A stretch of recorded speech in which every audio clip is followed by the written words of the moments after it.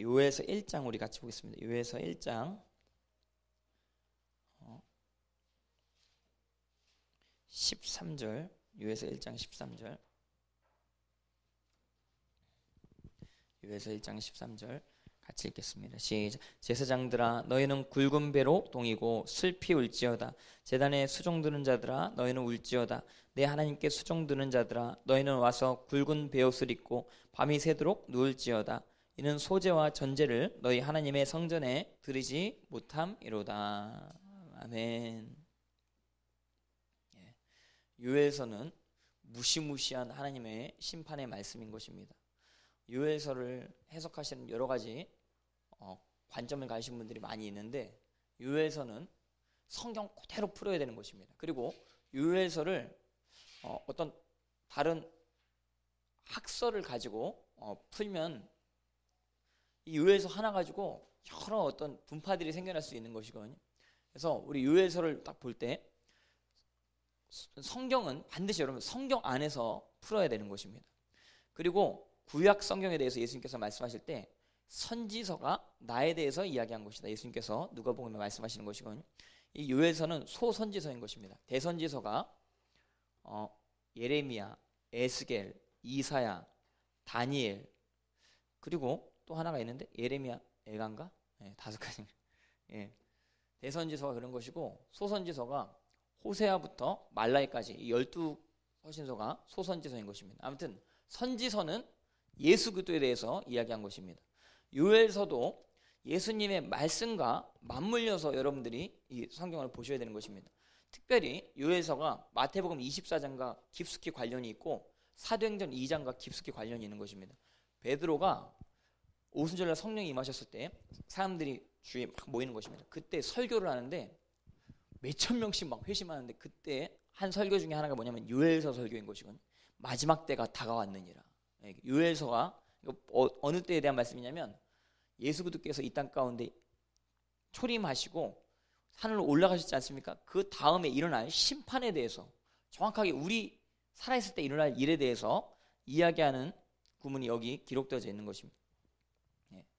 예. 여러분들 주님의 날을 기다리십니까? 주님께서는 곧 다시 오시는 것입니다.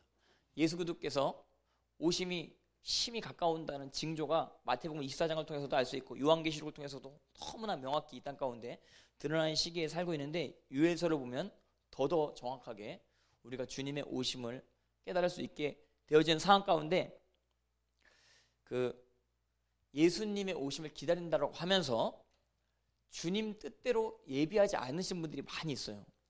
그 어떤 분들 휴고 날짜에 대해서 굉장히 민감하시면서 휴고자로서 준비하려고 하시는 분들은 별로 없을 수 있는 것이거든요. 휴거 준비한다라고 하는데 기도를 안 해, 도무지.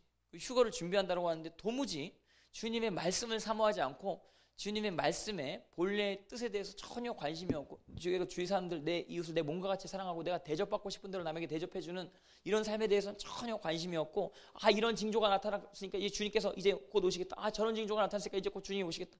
이러다가 어떤 사인만 계속 추구하다가 사랑을 놓쳐버리는 요한계시록 일곱 교회 현상이 나타날 수 있는 것이건 요한계시록 일곱 교회 중에 두 교회만 칭찬받고 나머지는 전부 다 책망받게 되는 것을 보게 되는 것입니다. 왜 책망을 받느냐? 주님의 오심은 심히 가까웠다라고 하는데 도무지 주님 만날 준비를 안 하는 것입니다. 주님 오신다라는 징조가 여러분들에게 주어졌다라고 한다면 여러분들은 그 방향으로 나아가는 게 중요한 것이거든요. 그러니까 여러분들 길이 이렇게 있으면 표지판이 이렇게 있죠. 이쪽 길로 가라. 이렇게 표지판이 이렇게 있습니다. 그럼 이렇게 길이 두 갈래로 딱이 표지판을 보고 아 이쪽 길은 어 뭐 늪이고 뭐 이쪽 길은 뭐 연못이고 아 그럼 늪으로 가면 안 되겠다 연못으로 가야겠구나 이래서 이쪽으로 딱 가는 것입니다. 이게 뭐예요? 사인인 것입니다. 사인. 이게 이제 표징인 것이거든요. 말세에 표지판이 지금 많이 우리 육안으로 볼 수 있는 것이고 뉴스를 여러분들 보시면 중동 상황만 봐도 그래요. 지금 예수님께서 마태복음에서 말씀하신 그 상황들이 그대로 중동에 나타나고 있는 것을 보게 되는 것이고 전 세계에 그렇게 이제 하나님께서 말씀하신 대로의 재앙들이 나타나고 있는 것을 보게 되는 것인데 이런 어떤 사인들을 우리가 볼 때 어떻게 되냐? 이 사인을 붙잡으면 안 된단 말이에요. 이 사인을 통해서 올바른 길로 가야 된단 말이에요. 늪으로 가면 안 되고 연못으로 가야 되는 것입니다. 그러니까 하나님께서 말씀하신 대로의 우리의 방향성이 사인을 통해서 정확하게 정의되어져야 된다라고 하는 사실 말세가 되면 될수록 기억하시기를 주님의 이름으로 축복합니다. 특별히 요엘에서는 경제 재앙에 대해서 이야기하는 것입니다. 나중에 이제 여러분들 경험하시겠지만 엄청난 경제 재앙이 이 땅 가운데 일어나게 될 것을 요한계시록도 이야기하고 있는 것이고 요엘서도 이야기하고 있는 것이고 다른 어떤 성경 안에서도 많은 사람들이 돈 때문에 망하는 역사 가운데 하나님을 찾지 않는 이런 악하고 음란한 세대가 생겨날 것에 대해서 하나님께서 말씀하시는 것을 보게 되는 것입니다. 특별히 여러분들 경제 재앙의 때에 반드시 아셔야 될 것이 이 경제 재앙을 누가 주시는가 여러분들이 정확하게 판단해 하셔야 되는 것입니다. 엘리야가 바알 숭배 사상이 만연한 이스라엘 땅 가운데 여호와는 하나님이시다 선포하는 것입니다. 많은 이스라엘 백성들이 여호와를 하나님으로 고백은 하지만 여호와를 하나님으로 섬기질 않아요. 바알이 하나님인 줄 알아요. 고대 가나안 신이 농경 신이 바알 신이었었던 것이었거든요. 여호와는 광야에서만 역사했었던 신이고 우리 이제 가나안 땅에 정착했으니 고대 가나안 땅 거민들이 섬겼던 그 바알 신 그리고 바알과 함께 따르는 신이 아세라 신인 것이거든요. 그러니까 바알은 농경 신이고 아세라는 음란의 신인 것이거든요. 농경 경제권과 음란함이 맞물려서 가나안 땅 문화로 자리 잡고 있었던 것을 보게 되는 것이면 오늘날이랑 똑같죠. 오늘날 출세하려면 상사가 노래방까지 같이, 같이 가자 그러면 같이 가가지고 별의별 음란한 꼴을 다 봐야 된단 말이에요.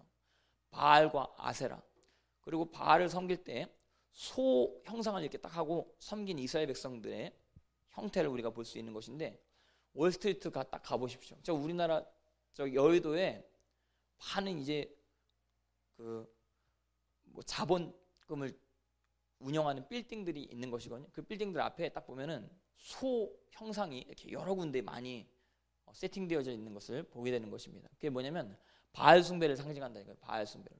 돈에 미친 세대란 말이에요. 돈과 음란에 미친 세대. 돈이 일만하게 뿌리죠. 예수님께서 그런 세대에서 악하고 음란한 세대다 말씀하시는 것을 보게 되는 것인데 엘리야의 시대가 그때랑 똑같았었던 것입니다. 근데 이스라엘 백성들이 비를 내리는 신은 바알 신이다 이렇게 생각을 했었던 것이었거든요. 그래서 비가 어디서 와요? 하늘에서 이렇게 오는 것이죠. 그러면 땅이 이 비를 받는 것입니다. 이 비를 내리는 신은 바알 신이고 이 비를 받는 신은 아세라 신이다. 그래서 바알과 아세라가 자꾸 연합이 되어져야 바알이 씨를 뿌린다 해가지고 바알과 아세라 숭배자들이 그 신전에서 신전 창기라 그러죠. 미친 듯이 음란한 짓을 벌이는데 심지어 여자 창기와 남자 창기만 성관계를 갖는 것이 아니라 남자는 남자끼리 여자는 여자끼리 미친 듯이 성관계를 즐기면서 씨를 뿌린다 해가지고 그 신전 창기들을 굉장히 거룩하게 여겼다 이거예요. 성경 원어로 보면 그 창기란 단어가 거룩한 자라고 기록이 되어져 있는 것입니다. 그러니까 그들 나름대로 야 쟤네들 음란하게 섬기는구나 이렇게 보이는 식으로 그들이 신전에서 활동한 게 아니라 아 그래도 주위 사람 딱 보기에 굉장히 이제 광명한 천사와 같이 굉장히 깔끔하고 굉장히 꿀과 꿀과 같이 달콤한 어떤 그러한 형태로 신전에서 확신을 섬긴다 그러는데 자부심이 굉장히 있었던 것이죠. 우리 때문에 많은 이스라엘 백성들이 먹 살 수 있게 되어지는 것이다. 이렇게 생각을 하면서 신전 창기들이 존재했었던 것인데 이때 바알이 비를 주관하는 신이 아니라 여호와께서 하나님이시다. 엘리야가 딱 등장하게 되는 것입니다. 엘리야란 이름 뜻이 여호와는 하나님이시다. 이름 자체가 대놓고 여호와는 하나님이시다 고백하는 것이에요. 그래서 엘리야가 바알 숭배가 만연한 상황 가운데 3년 6개월 동안 비가 오지 않기를 간절히 이제 기도할 때 하나님께서 그 기도를 응답하시고 엘리야는 까마귀로 공급해 주시고 나머지 이스라엘 백성들은 가뭄을 경험하게 되는 상황 가운데 그때 바알 숭배자들과 엘리야와 한판 붙게 되는 것이죠. 바알뿐만 아니라 아세라 숭배자들끼리 같이 모여가지고 850대 1로 싸우는데 엘리야가 850명을 작살내는 것입니다. 여호와의 이름으로 하늘에서 불이 떨어지게 하는 것이거든요. 그러니까 재단에 불이 확 탈 때 그들의 역사가 완전 점 선멸되어지게 되는 것이죠. 성령의 불이 임하시면 바알과 아세라 숭배의 모든 역사들이 끝나게 된다라고 하는 사실 여러분 기억하시길 주님의 이름으로 축복합니다. 이 시간 가운데 성령께서 임하신다라고 한다면 이 땅 가운데 모든 돈 좋아하는 그 마음 가운데 욕심, 탐심이 완전히 제가 되어질 것을 믿으시기를 주님의 이름으로 축복합니다. 음란에 미쳤다라고 하는 어떤 그런 내 마음에 절제하지 못하는 정욕이 있다라고 한다면 성령이 불이 임하시면 끝장나는 것이에요. 작살이 나는 것이건 여호와는 하나님이시다. 예수 그리스도는 하나님이시다. 예수 그리스도는 전능하시다. 이렇게 여러분들이 이 예배 가운데 선포할 때 하나님의 역사가 일어날 것을 믿으시길 주님의 이름으로 축복합니다. 근데 그 바알과 아세라와 전쟁 이후에 아합 왕 앞에서 엘리야가 기도를 합니다. 간절히 비가 오도록 또 기도를 하게 되는 것을 보게 되는 것이거든요. 그때 하나님께서 비를 딱 내려주시는 것입니다. 예. 비를 주관하는 신이 하나님이신 것이거든요. 하나님. 경제를 주관하는 신이 하나님이신 것입니다. 하나님. 그래서 그 요즘에 유대인들 천재들이 있어요. 그 사람들이 메시아닉 주라 그래서 예수 그리스도께로 많이 돌아오시는 분들이 많이 있는 것입니다. 근데 이런 분들을 통해서 여러 가지 새로운 어떤 진리들이 우리 가운데 선포되어지는 것을 보게 되는 것이거든요.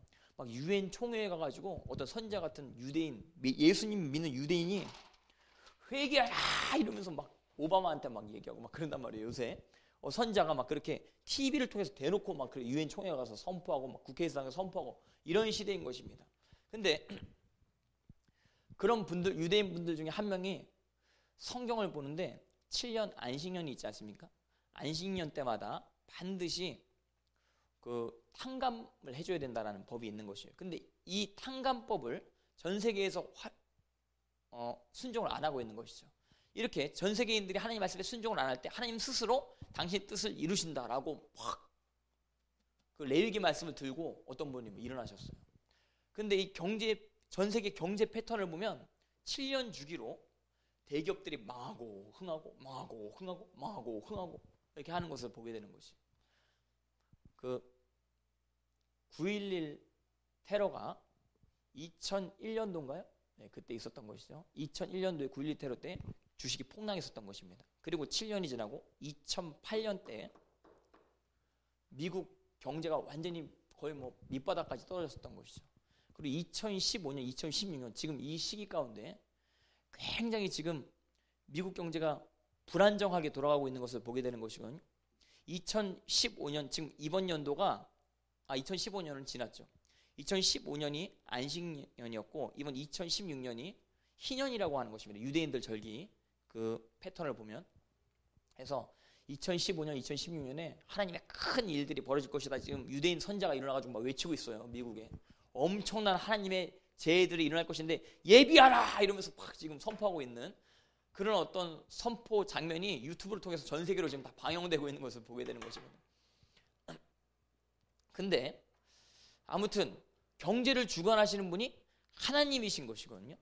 적그리스도가 나중에 전 세계 경제 실권을 자기 혼자 다 짊어 쥐게 되는 것을 보게 되는 것입니다. 이 적그리스도에게 경제적 실권을 주시는 분이 누구세요? 허용하시는 분이 하나님이시란 말이에요.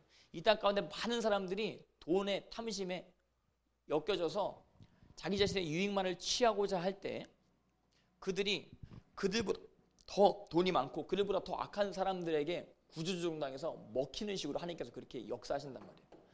돈 가지고 돈 불리게 하는 식으로 가난한 자들 계속 억압하고 착취하는 사람들 위에 적그리도적인 인물이 있는 것입니다.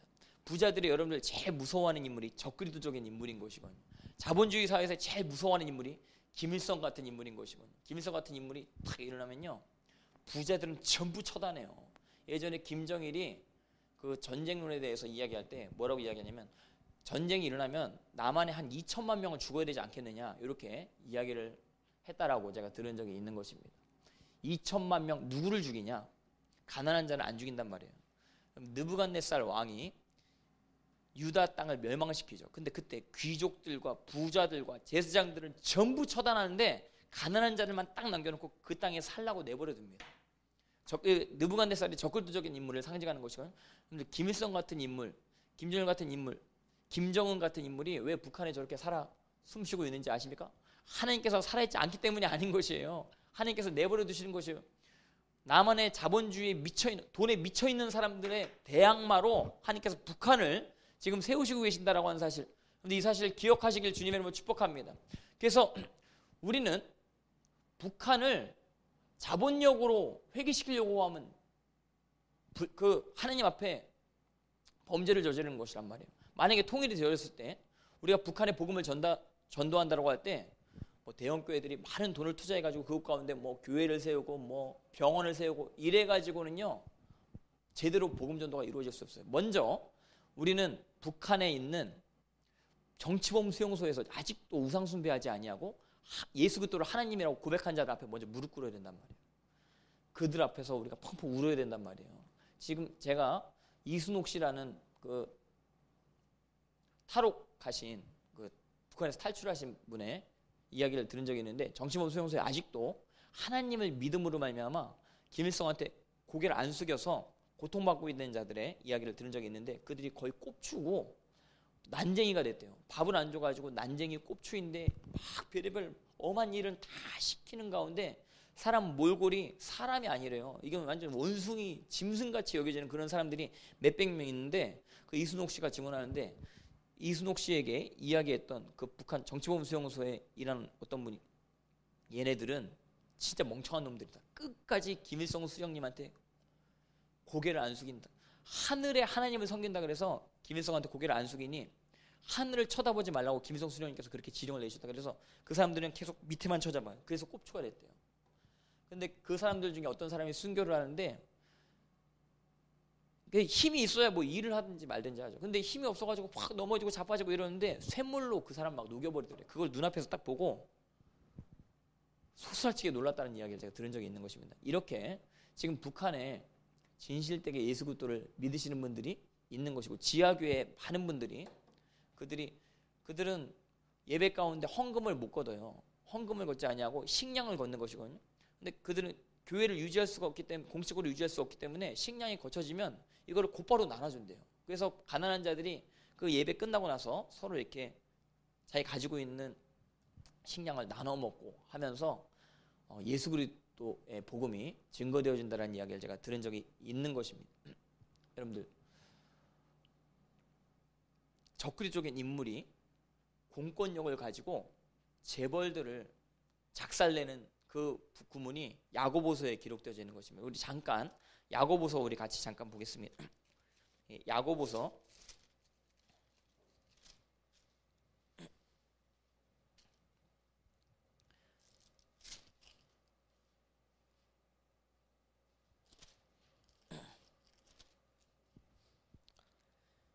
예, 야 어, 야고보서 5장 1절 같이 보겠습니다. 야고보서 5장 1절. 예, 시작 들으라 부한 자들아 너에게 임할 고생으로 말미암아 울고 통곡하라 너희 재물은 썩었고 너희 옷은 좀 먹었으며 너희 금과 은이 녹이 쓸었으니 이 녹이 너희에게 증거가 되며 불같이 너희 살을 먹으리라 너희가 말세에 재물을 쌓았도다. 4절 보라 너희 밭에서 추수한 품꾼에게 주지 아니한 삭시 소리 지르며 그 추수한 자의 우는 소리가 망군의 주의 귀에 들렸느니라 너희가 땅에서 사치하고 방종하며 살육의 날에 너희 마음을 살찌게 하였도다. 너희는 의인을 정죄하고 죽였으나 그는 너희에게 대항하지 아니하였느니라. 아멘. 이 살육의 날이 누구로부터 주어지는 거예요? 적그리적인 인물로부터 주어지게 되는 것입니다. 그래서 여러분들 북한만 회개해야 될 나라가 아니라 남한도 회개해야 되는 나라인 것입니다. 남한은 뭘 회개해야 되느냐? 남한은 돈 좋아하는 거 회개해야 되는 것입니다. 북한은 김일성 우상숭배 회개해야 되는 것입니다. 근데 남한에서 만약에 돈을 미치듯이 미친 듯이 좋아하면서 예수 그리스도를 믿는다라고 하는 사람들이요 북한 가가지고 복음을 증거한다 시도 안 믿기는 것입니다. 시도 안 믿기. 남한에서 돈 좋아하는 어떤 그런 마음이 회개가 되어지고 하나님의 나눔의 열매가 나타나야 북한 가가지고도 그 통한단 말이에요. 복음이 증거되어지는 것이. 그래서 아무튼 적그리적인 인물 세우는 것도 하나님의 뜻인데 근데 적그리적인 인물이 계속해서 이 땅을 또 통치하도록 주님께서 절대로 내버려두지 아니하시는 것이죠. 적그리적인 인물도 나쁜 놈이란 말이에요. 그렇기 때문에 그의 때가 정해져 있는 것입니다. 예, 김일성의 때는 정해져 있고 김정은의 때는 정해져 있는 것입니다. 예, 아마 저는 김정은 때에서 그 3대 체제가 무너지지 않을까 좀 그렇게 좀 예측을 하는 것이거든요. 예. 그리고 적그리스도가 요한계시록에 나오는데 3년 반 동안 하나님의 때를 얻는 것이거든요. 그 요한계시록의 적그리스도에 대해서 이야기할 때 특징이 뭐냐면 하나님께서 적그리스도에게 그의 때를 주셨더라 이렇게 기록되어져 있는 것입니다. 느부갓네살이 왜 이스라엘 백성들을 망하게 할 수 있는 때를 얻었냐면 이스라엘 백성들이 타락했기 때문인 것이거든요. 유다 백성들이 돈 좋아하기 때문인 것이거든요. 유다 백성들이 음란했기 때문인 것이거든요. 그렇기 때문에 느부갓네살이 유다 땅을 취할 수 있는 때를 얻게 된 것입니다. 그러니까 여러분들 삼성은 위에 있는 기업에게 먹힐 수밖에 없어요. 삼성 위에 있는 기업이 또 삼성을 먹잖아요. 그 위에 있는 기업도 그 위에 있는 기업에 먹힐 수밖에 없는 경제 구조 계속해서 어떤 짧게만 물고기 있으면 중간 물고기가 있고 큰 물고기가 있고 거대한 물고기가 있고 고래가 있고 나중에 한 사람한테 먹히는 게 그게 적그리스도란 말이에요. 예. 점점 여러분 중소기업들이 구조조정 되는 식으로 이 세상은 흘러갈 수밖에 없는 것이고 여러분들도 그것을 뉴스를 통해서 보고 있는 것입니다. 그러니까 이런 가운데 우리가 어, 지혜롭게 대처를 해야 되는 것이 무엇이냐면 우리는 기업을 의지하면 안 되고 가정 공동체 안에서 딱 이렇게 하나님 앞에서 나누, 나눔을 실천하고 있어야 된다. 가정 공동체 안에서 서로 그 화합하는 마음으로 그리고 우리가 노동한 그 대가 열매들을 다 가정 안에서 활용하는 식으로 이렇게 경제 공동체가 세팅이 되면 어, 출애굽기처럼 바로를 이기게 되는 것입니다. 바로가 이제 적그리스도적인 인물인 것이거든요. 노동을 하게 하면서 많은 사람들 착취하면서 자기 막 부를 엄청나게 쌓아놓는 것입니다. 국고섬 비돔성을 만들어 가지고 거기에 엄청난 재물을 자기가 소유하고 있는데 이스라엘 백성들을 학대하는데 이스라엘 백성들 특징이 뭐냐면 애를 엄청나게 낳버려요. 애를 뭐냐면 가족 공동체가 유지되어지는 식으로 점점 불어나는 거라. 그러니까 두려움을 느끼게 되는 것이거든요. 그러니까 말세에는 혈육 관계가 굉장히 중요한 것입니다. 마지막 때는 롯의 때와 같고 노아의 때와 같다. 롯과 노아가 구원받는 그 형태가 똑같은데 노아도 가족 공동체로서 구원받게 되는 것이고 롯도 가족 공동체로서 구원받게 된다라고 하는 사실을 우리가 구약 성경을 통해서 알 수 있는 것입니다. 그래서 여러분 말세가 되면 될수록 많은 사람들이 가정을 버리고 돈 쫓아가는 것이거든요. 점점 가족이 핵가족화되면서 사람들이 인터넷으로 조종당하는 시대, TV로 그의 사상들이 조종당하는 시대에 들어가게 되는 것을 보게 되는 것입니다. 그리고 그 요새 유튜브나 인터넷에 많이 떠돌아다니는 그 적그리도적인 문양이 있는 것이거든요. 여러분들도 보신 분들은 아시겠지만 전시안이라고 해가지고 눈알 하나만 이 삼각형 안에 그려져 있는 그 전시안 있잖아요. 그게 이제 뭐 싸이 뮤직비디오에도 나오고 뭐 또 누구 SM의 뭐 누구 유명한 뭐 누구 드래곤 뭐걔 뮤직비디오에도 뭐 나오고 막 그런 데입니다. 그리고 이 전시안뿐만 아니라 또 적게도가 좋아하는 문양 중에 피라미드 문양이 있는 것이거든요. 요즘 그 잘 나가는 뮤직비디오 딱 보세요. 거기 피라미드가 거의 다 있는 것을 보게 되는 것이거든요. 그러니까 뭔가 연예인들이 세상을 얻으려면 마귀에게 경배해야 되는 거야. 예수님은 마귀가 이렇게 예수님께 유혹할 때, 야, 너가 경배하면 내가 가지고 있는 세상의 영광 다 주겠다. 이렇게 하는데 주님께서 경배 안 하시는 것이죠. 십자가에 달려 죽으시는 것입니다. 근데 세상 영광을 취하고자 마귀에게 경배하는 자들이 이 땅 가운데 우후죽순처럼 생겨나게 되는 것이거든요. 결국 이제 적그리스도가 용을 경배시키는 것까지 이제 하게 하는 것이고. 근데 어, 아무튼 하나님께서 이 땅을 통치하신다라고 하는 사실 기억하시길 주님의 이름으로 축복합니다. 하나님께서 경제 재앙을 주시는 이유가 있는 것입니다. 그것을 우리 유엘서를 통해서 다시 한번 우리 살펴봤으면 좋겠습니다. 요엘서 우리 1장. 요엘서 1장 2절 같이 보겠습니다. 요엘서 1장 2절. 시작 늙은 자들아 너희는 이것을 들을지어다. 땅의 모든 주민들아 너희는 귀를 기울일지어다. 너희 날에나 너희 조상들의 날에 이런 일이 있었느냐? 3절 너희는 이 일을 너희 자녀에게 말하고 너희 자녀는 자기 자녀에게 말하고 그 자녀는 후세에 말할 것이니라. 어떤 일이냐면 4절 팥중이가 남긴 것을 메뚜기가 먹고 메뚜기가 남긴 것을 느치가 먹고 느치가 남긴 것을 황충이 먹었도다. 이때 당시에 이스라엘 백성들의 가장 중요한 그 경제 패턴이 무엇이냐면 농경 농경 문화라 이거 농경 사회라 이거예요. 그래서 농업이 잘 돼야 경제적인 부를 이스라엘 백성들이 축적할 수 있었던 것이었는데 가장 기본적인 경제적인 부를 누릴 수 있는 그 농경의 모든 상황들을 느치가 싹쓸이하고 그리고 느치가 먼 것 남은 것을 황충이 싹쓸이하고 아무튼 뭔가 조금 이제 어려워져 가지고 남았다라고 하는 그 상황도 싹쓸이되고 싹쓸이되고 싹쓸이되고 싹쓸이되고 싹쓸이 되다가 완전히 황폐해지는 상황까지 갈 것에 대해서 요엘서가 이야기하고 있는 것을 보게 되는 것입니다. 그래서 이때 그 여러 가지 이제 현상들이 나타나는 가운데 어떤 현상이 나타나냐면 예배가 끊어지게 되는 것이고 경제 재앙 때문에 사람들이 하나님께 예배드릴 엄두도 못 내는 것이에요. 또 이제 그 이스라엘 백성들 예배 형태 가운데 여러 형태가 있는 것이죠. 번제, 소제, 속제제, 속건제, 화목제 이 다섯 가지가 5대 제사인데 이 다섯 가지 제사 말고도 또 다른 형태의 제사가 있는데 화제가 있고 그리고 전제가 있고 그리고 또 이거 말고도 또 몇 가지 또 예배 요제도 있고 뭐 거제도 있고 여러 가지 제사 형태가 많이 있는 것입니다. 근데 이런 어떤 제사가 그쳐버리게 되는 역사가 왜 그러느냐? 그 소재가 어떻게 들어지는가를 우리가 알, 한번 연구해 볼 때 이 요엘서에 제사가 이 경제장 때문에 왜 끊어지는가 알 수 있게 되어지는 것이거든요.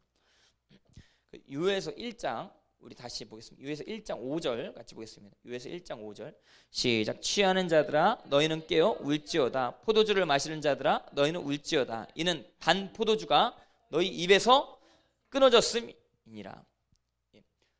완전히 이스라엘 백성들이 먹을 수 있는 뭐 곡식이라든지 포도주란 이런 것들이 싹쓸이 되기 때문에 포도주를 마신 자들아 너희들을 울지어다. 단 포도주가 너희 입에서 끊어졌습니다. 예, 포도주를 사용한 제사가 바로 전제인 것이거든요. 예. 그래서 포도주 전제를 드릴 수 있는 아주 기본적인 어, 요구가 충족이 안 되니까 예배가 드려질 수가 없는 것이죠. 예, 예배 아주 기본적인 것까지 무너지는 세대가 바로 요엘의 세대인 것입니다.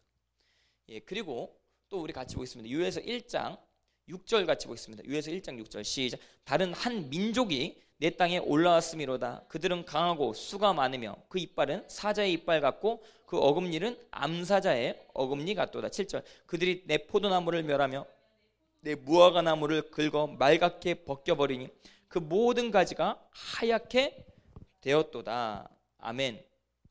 예, 포도나무를 통해서 어, 전제의 도구인 포도주가 산출되어질 수 있는 것이고 무화과 나무를 통해서 어, 여러 가지 이제 소재를 드릴 때 그 기름을 활용하게 되는 것을 보게 되는 것이군. 이 무화과 나무의 기름이 산출되어질 수 있도록 이스라엘 백성들이 무화과 나무를 관리하는 것인데 무화과 나무까지 말갛게 벗겨져 버리는 현상이 나타나게 된다라고 한 사실. 누구 때문에 그러냐? 어떤 한 민족이 그 하나님의 땅을 대적해서 올라오게 되는 것입니다. 이게 류에서 1장 6절에 다른 한 민족이 내 땅에 올라왔음이로다 이렇게 기록되어 있는데 이 내 땅이라는 이 단어가 against my land 이렇게 이제 번역될 수 있는 단어인 것입니다. 이건 뭐냐면 내 땅을 대적하여 어떤 한 민족이 올라오는데 이 민족이 보통 민족이 아니라 이거예요. 강하고 수가 많고 이빨은 사자 이빨 같고 그래서 이 민족을 두 가지로 해석을 하는 것입니다. 어떤 분은 이 민족이 뭐 바벨론 군인들이다. 이스라엘 백성들을 침공하는 적그리스도적인 군대다. 이렇게 해석하시는 분들도 있고 이 군대들이 메뚜기 떼다 이렇게 해석하시는 분들도 있는 것을 보게 되는 것입니다. 예, 근데 저는 메뚜기 떼라고 해석이 되는 게 예, 자연스러운 것 같은 것이거든요. 그리고 어, 요한계시록에 보면은 메뚜기에 대해서 기록한 구문이 분명히 나오는 것을 보게 되는 것입니다. 우리 잠깐 그 구문 살펴봤으면 좋겠습니다. 요한계시록 우리 같이 한번 요한계시록 9장 같이 보겠습니다. 요한계시록 9장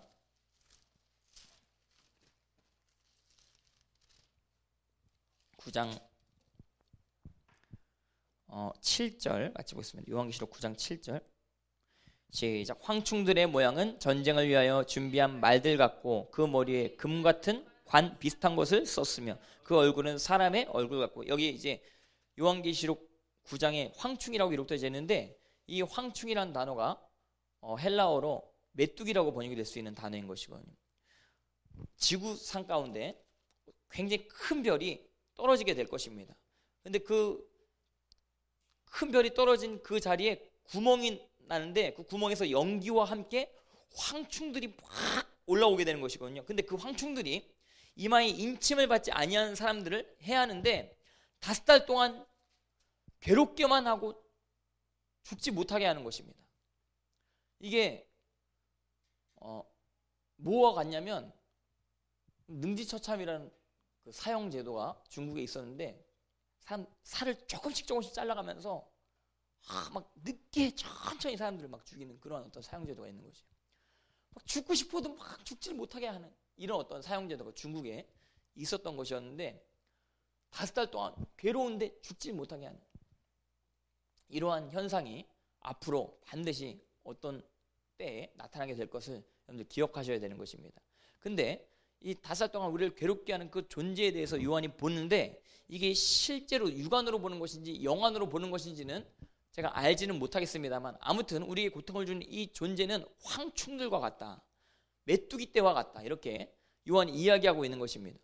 이 메뚜기의 모양은 전쟁을 위하여 준비한 말들과 같고 그 머리에 금과 관 비슷한 것을 썼으며 그 얼굴은 사람의 얼굴 같고 요엘서와 비슷한 구문이 요한계시록 9장에 나오는 것을 보게 되는 것이거든요. 그리고 9절 같이 보겠습니다. 요한계시록 9장 9절 시작. 또 철 호신경 같은 호신경이 있고 그 날개들의 소리는 병거와 많은 말들이 전쟁터로 달려 들어가는 소리 같으며 10절 또 정갈과 같은 꼬리와 쏘는 살이 있어 그 꼬리에는 다섯 달 동안 사람을 해야 하는 권세가 있더라. 그들에게 왕이 있으니 무적행의 사자라. 히브리어로는 그 이름이 아바돈이요. 헬라어로는 그 이름이 아볼루온이더라. 예. 그 황충들의 무리 가운데 왕이 있는데 이 왕의 이름이 아바돈인데 이 아바돈이란 단어가 구약 성경에 몇 번 나오는 것입니다. 잠언에도 나오고 욥기서에도 나오는 것이거든요. 아바돈은 음부에 있다라고 구약에 이야기하고 있는 것입니다. 음부를 주관하는 어떤 영체가 아바돈인데 그러니까 이 아바돈은 잠언에 보면 만족함이 없는 이라 이렇게 기록되어 있어요. 그러니까 음부에는 많은 사람들이 고통을 받게 되는 것을 누가복음을 통해서 알 수 있는 것이거든요. 예수님께서 음부에 대해서 설명하실 때 위로받는 곳이 있고 고통받는 곳이 있는데 그 부자가 음부에 고통받는 곳에 갔다 이거예요. 아, 거기서 엄청나게 고통을 받는데 내 혀에 혀 끝에 물방울 하나만 떨어뜨려 주세요. 물방울 하나만 떨어뜨려. 이렇게 이러면서 굉장히 막 불 가운데 고통하는데 과거를 추억하는 과거를 기억하는 것입니다. 리멤버하는 것이거든요. 내가 그때 왜 그랬을까? 왜 그랬을까? 하는데 저 건너편에 거지 나사로가 보이는 것입니다. 거지 나사로가 아브라함 품에 다 편하게 있는 그 모습을 음부에서 보고 있는 상황이 누가복음에 기록되어지는 것을 보게 되는 것입니다. 근데 그 음부를 주관하는 어떤 그 신, 그 신, 아, 그 신, 신이 아니라 그 영물, 영물이 아바돈이라고 하는 것인데 그 아바돈도 하나님 앞에서는 굴복되어지는 것이죠. 그러니까 아바돈이 하나님의 통치 가운데 있다라고 하는 사실을 우리가 구약 성경을 통해서 알 수 있는데 근데 이 음부를 주관하는 이 영물이 구멍을 통해서 현세 가운데 나오는 것이에요. 그래서 지옥 고통을 이 땅 가운데 살아있는 사람한테 막 준다 이거예요. 죽기를 구하여도 죽지 못하는 이게 뭐냐면 지옥 고통인 것입니다. 지옥 고통. 불꽃 가운데서 캬 고민하는 것이 캬 불타는데 죽고 싶어도 영원히 죽지를 못해요. 근데 잠깐 지옥 맛을 다섯 달 동안만 이 땅 가운데 행하는 이 영물이 황충이란 말이에요. 요한계시록의 황충. 이 황충들과 유엘서에 나오는 황충과 연관성이 있다라고 여러분들 보셔야 됩니다. 왜냐하면 유엘서에 황충 메뚜기 떼라고 이야기를 하긴 하지만 이 메뚜기 떼를 비유할 때 한 민족이라고 또 이야기하고 그 이빨은 사자의 이빨 같고 그 어금니는 암사자의 어금니 같도다. 그러니까 이런 이런 메뚜기 떼 이런 황충들이 앞으로 이 땅 가운데 일어날 것을 여러분들이 기억하셔야 되는 것입니다. 근데 이 황충들이 일어날 때 우리가 고통받게 되는 것뿐만 아니라 1장 7절 같이 보겠습니다. 1장 7절 시 어, 그들이 내 포도나무를 멸하여 내 무화과 나무를 긁어 말갛게 벗겨버리니 모든 가지가 하얗게 되었도다. 예배의 기본적인 필요의 모든 것들을 전부 제거해 버리는 것을 보게 되는 것입니다. 그래서 1장 8절 9절 같이 보겠습니다. 1장 8절 9절 시작. 너희는 처녀가 어렸을 때 약혼한 남자로 말미암아 붉은 배로 동이고 애곡함 같이 할지어다. 예, 약혼자가 죽었을 때 굉장히 슬퍼하게 되는 것이죠. 그것처럼 상복을 입고 너희들이 통곡해야 되는 그런 상황이 오게 될 것인데 왜냐하면 9절 같이 보겠습니다. 시작. 소재와 전제가 여호와의 성전에서 끊어졌고 여호와께 수종드는 제사장은 슬퍼하도다. 아멘. 말세 경제 재앙뿐만 아니라 엄청난 재앙들이 이 땅 가운데 쏟아질 것을 여러분들 기억하셔야 되는데 그런 상황 가운데 공식적인 어떤 예배 모든 것들이 다 폐허해지게 되는 것이고 이럴 때는요 그 공식적으로 이렇게 교회당에서 예배드리는 그런 때가 아닌 것입니다. 이럴 때는 어떤 때냐면 성회를 열어서 금식을 선포하는 때인 것이거든요.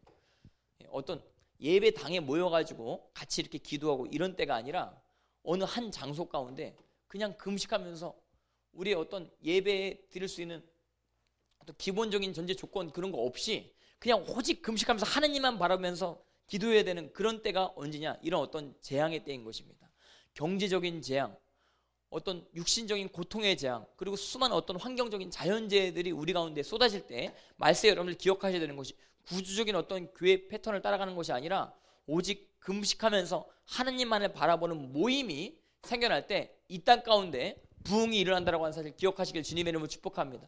부흥은 반드시 그냥 일어나는 법이 없는 것입니다. 어떠한 굉장히 극심한 고통 가운데 하나님께서 이 땅 가운데 부흥을 주시고자 하는 의도가 있는 것이거든요. 이스라엘 백성들이 언제 부흥이 되느냐?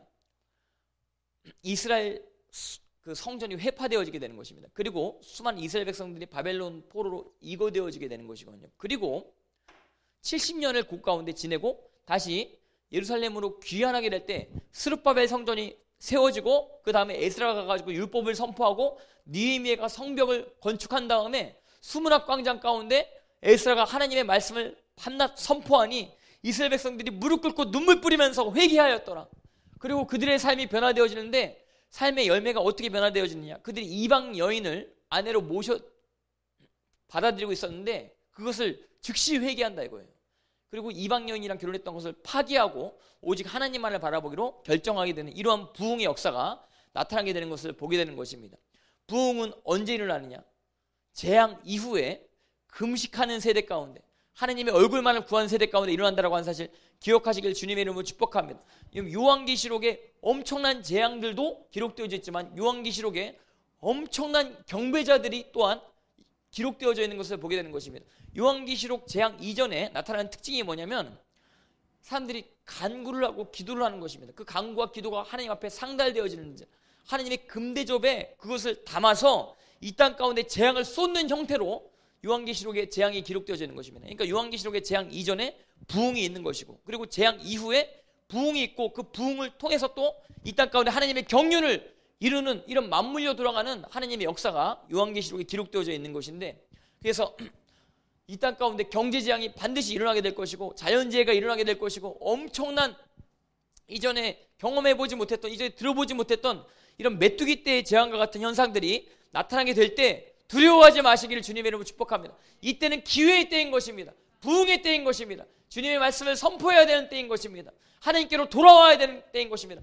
옷을 찢지 말고 마음을 찢어야 되는 때인 것을 여러분들이 기억하시기를 주님의 이름으로 축복합니다. 얼마나 재앙이 만연한 때이냐면 우리 요엘서 1장 10절 같이 보겠습니다. 10절.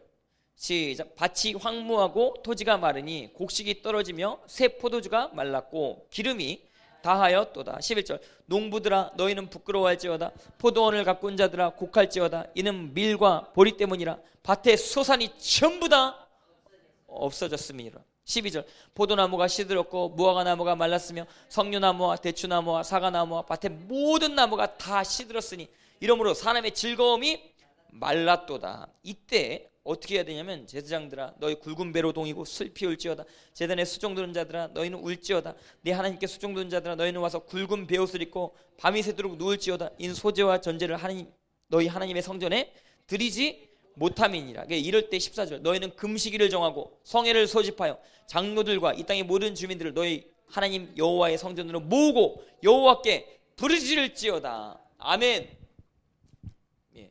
그래서 이런 재앙이 올때 모여서 금식하며 어떤 구주적인 교회 형태 예배 형식을 따라가는 것이 아니라 오직 하나님만을 구해야 되는 어쩔 수 없이 그럴 수밖에 없는 상황으로 하나님께서 몰고 가실 때가 있을 수 있단 말이에요. 이것을 반드시 기억하시길 주님을 축복합니다. 그러면 여기서 잠깐 우리 중간에 소재와 전제에 대해서 살펴봤으면 좋겠습니다. 그럼 소재가 무엇이고 전제가 무엇이길래 왜 곡식이 끊어졌을 때 이스라엘 백성들이 하나님 앞에 예배를 드리지 못하느냐? 예, 제가 소재 전제에 대해서 가르, 가르쳐 달라고 하는 부탁을 받고 제가 원래 설교를 위해서 설교 준비를 안 해요. 평소에 그냥 말씀을 읽거든요. 예, 설교를 위해서 말씀을 읽는 게 아니라 그냥 말씀이 좋아서 말씀을 읽습니다. 근데 그러면서 이제 설교 단상에서 성령께서 주신다라고 하는 그 감동이 있으면 그것을 그대로 선포하는 것입니다. 이 찬양 가운데 하나님께서 또 감동을 주실 때 그걸 선포하는데 이번에는 좀 준비를 한번 해봤습니다. 예, 제가 개척하고 오랜만에 제가 준비를 해봤습니다. 그래서 이 한 장에 좀 써봤는데 예, 이 부분 잠깐 좀 우리 나눴으면 좋겠습니다. 소재에 대해서 먼저 살펴보겠습니다. 이 소재라는 단어가 히브리어로 민하라는 단어인 것입니다. 그래서 이거는 어떤 뜻이냐면 분배하다. 예, 그리고 수여하다, 나눠주다 이런 뜻인 것이거든요. 어, 영어 성경에서는 특별히 킹 제임스 성경에서는 뭐라고 이야기하면 meat offering 이렇게 번역을 했습니다. 이건 뭐, 뭐예요? 먹는 제사다 이렇게 기록될 수 있는 것이 현대에는 미트란 단어가 고기로만 쓰이는데 고대에는 미트란 단어가 어, 식량 뭐 이런 식으로 어, 쓰여졌었던 것이었거든요. 그리고 ESV 성경, NIV 성경이라고 있는 것입니다. 이 성경에서는 grain offering 이렇게 번역을 해놓은 것입니다. 이건 뭐냐면 곡식 제사다. 이렇게 번역이 되는 것입니다. 이거 소재는 어떤 제사예요? 곡식 제사고 먹을 수 있는 어떤 그런 제사인 것이고 그리고 나눠주고 수여하는 이런 제사인 것입니다. 번제 다음에 소재 구문이 레위기 2장에 나오는 것을 보게 되는 것이거든요. 번제는 가죽과 그리고 그 짐승 안에 있는 더러운 것들, 뭐 똥이라든지 이런 것들을 다 제거해 버리고 하나님께 완전히 태워 드리는 제사인데, 근데 그건 남는 게 없습니다. 그 가죽밖에 안 남는 것이거든요. 근데 소재는 한 움큼 이제 번제 탁 뿌리고 나머지는 전부 나눠 먹는 제사인 것이에요. 그러니까 예배 가운데 여러분들 하나님께서 나누시길 원하시는 것입니다. 말씀을 나누시길 원하시고 우리 소유를 나누시길 원하시는 것이고 그리고 성령의 은혜를 같이 나누시길 원하시는 것이고 성령의 은사 바울이 가지고 있던 은사를 그 로마 교회에 나누길 원했었던 것이었거든요. 예배 가운데는 나눔이 충만해야 된다고 하는 사실 기억하시길 주님의 이름으로 축복합니다. 소재는 나누는 제사다. 그리고 곡식 제사다. 이 소재라는 단어가 가인에게도 쓰이는 것을 보게 되는 것입니다. 가인이 밭의 소산으로 하나님께 제사를 드렸더라. 이렇게 기록되어 있는데 밭의 소산으로 제사. 이 제사란 단어가 소재라고 번역이 될 수 있는 단어로 쓰였어요. 히브리어로. 예. 그래서 땅의 소산으로 드리는 제사가 소재다. 이렇게 여러분들이 아셔야 되는 것이고. 그럼 이제 소재에 대해서 구체적으로 좀 레위기 말씀을 보면서 살펴봤으면 좋겠습니다. 아주 소재 기본에 대해서 레위기 2장에 나와 있는 것입니다. 레위기 2장 우리 같이 보겠습니다. 2장 1절. 레위기 2장 1절. 예, 레위기 2장 1절 우리 같이 보겠습니다. 야간의 성경 구약 성경 148페이지. 2장 1절 시작. 누구든지 소재의 예물을 여호와께 드리려거든 고운 가루로 예물을 삼아 그 위에 기름을 붓고 또 위에 유향을 놓아 놓아 예, 누구든지 소재의 예물을 여호와께 드리려거든 이 누구든지란 단어가 여성으로 쓰여진 것입니다. 곡식 열심히 일하고 막 탈곡하고 예 그리고 키질하고 뭐 맷돌 갈고 뭐 이런 그 노동을 해야 되는 것인데 근데 특별히 곡식을 거둘 때 그 땀 흘려 일하는 그 일은 메인 일은 보통 남자들이 하는데 이 곡식을 막 빻고 이 곡식을 활용해 가지고 사람들한테 막 먹여주고 이 역할은 누가 해요? 여자들이 대부분 하는 것이에요. 특별히 소재는 여자들이 많이 참여하는 어, 그런 제사인 것이거든요. 왜냐하면 소재에 필요한 것이 무엇이냐면 고운 가루인 것입니다. 고운 가루. 이 고운 가루가 그냥 생기는 게 아닌 것이거든요. 열심히 노동을 해가지고 곡식이 자라야 되는 것입니다. 곡식이 자랄 때까지 계속해서 물을 주고 그리고 그 계속 관리를 해주고 막 해야 된단 말이야. 땅 관리를 하고 뭐 거름을 주고 이렇게 해야 시간이 지나야 겨우 조금씩 조금씩 조금씩 조금씩 조금씩 자라다가 그게 정말 완전히 익었을 때 그때 이제 낫을 가지고 낫을 베고 그리고 그걸 낫을 벤 가지고 탈곡을 하고 키즈를 하고 그리고 그것을 빻고 또 맷돌로 돌리고 이런 작업이 있어야 된단 말입니다. 그러니까 이 소재에 사용되어지는 기본 재료가 고운 가루인데 이 고운 가루 하나가 이 고운 가루 한 움큼이 우리에게 주어지기까지 얼마나 많은 노동과 시간과 인내가 필요해야 되는지 우리가 이것을 알아야 되는 것입니다. 그래서 고운 가루로 예물을 삼아 그 위에 기름을 붓고 유향을 놓아 이 기름, 이 기름은 올리브 기름인데 이 기름도 그냥 나오는 게 아니에요. 어떤 나무에서 이 기름을 채취하기 위해서 많은 시간을 기다려야 되고 그리고 그 기름을 짜내기 위해서 어떤 고된 어떤 노동의 작업이 있어야 되는 것이거든요. 고운 가루에 이 기름을 붓고 유향 이건 뭐냐면 냄새인 것입니다. 냄새. 여기서 우리가 알 수 있는 진리가 무엇이냐면 소재의 어떤 그 예배의 의미에 대해서 우리가 깨달을 수 있는 어떤 부분이 어, 소재에 기름을 붓고 유향을 놓는다. 기름은 성령의 은혜를 상징하는 것입니다.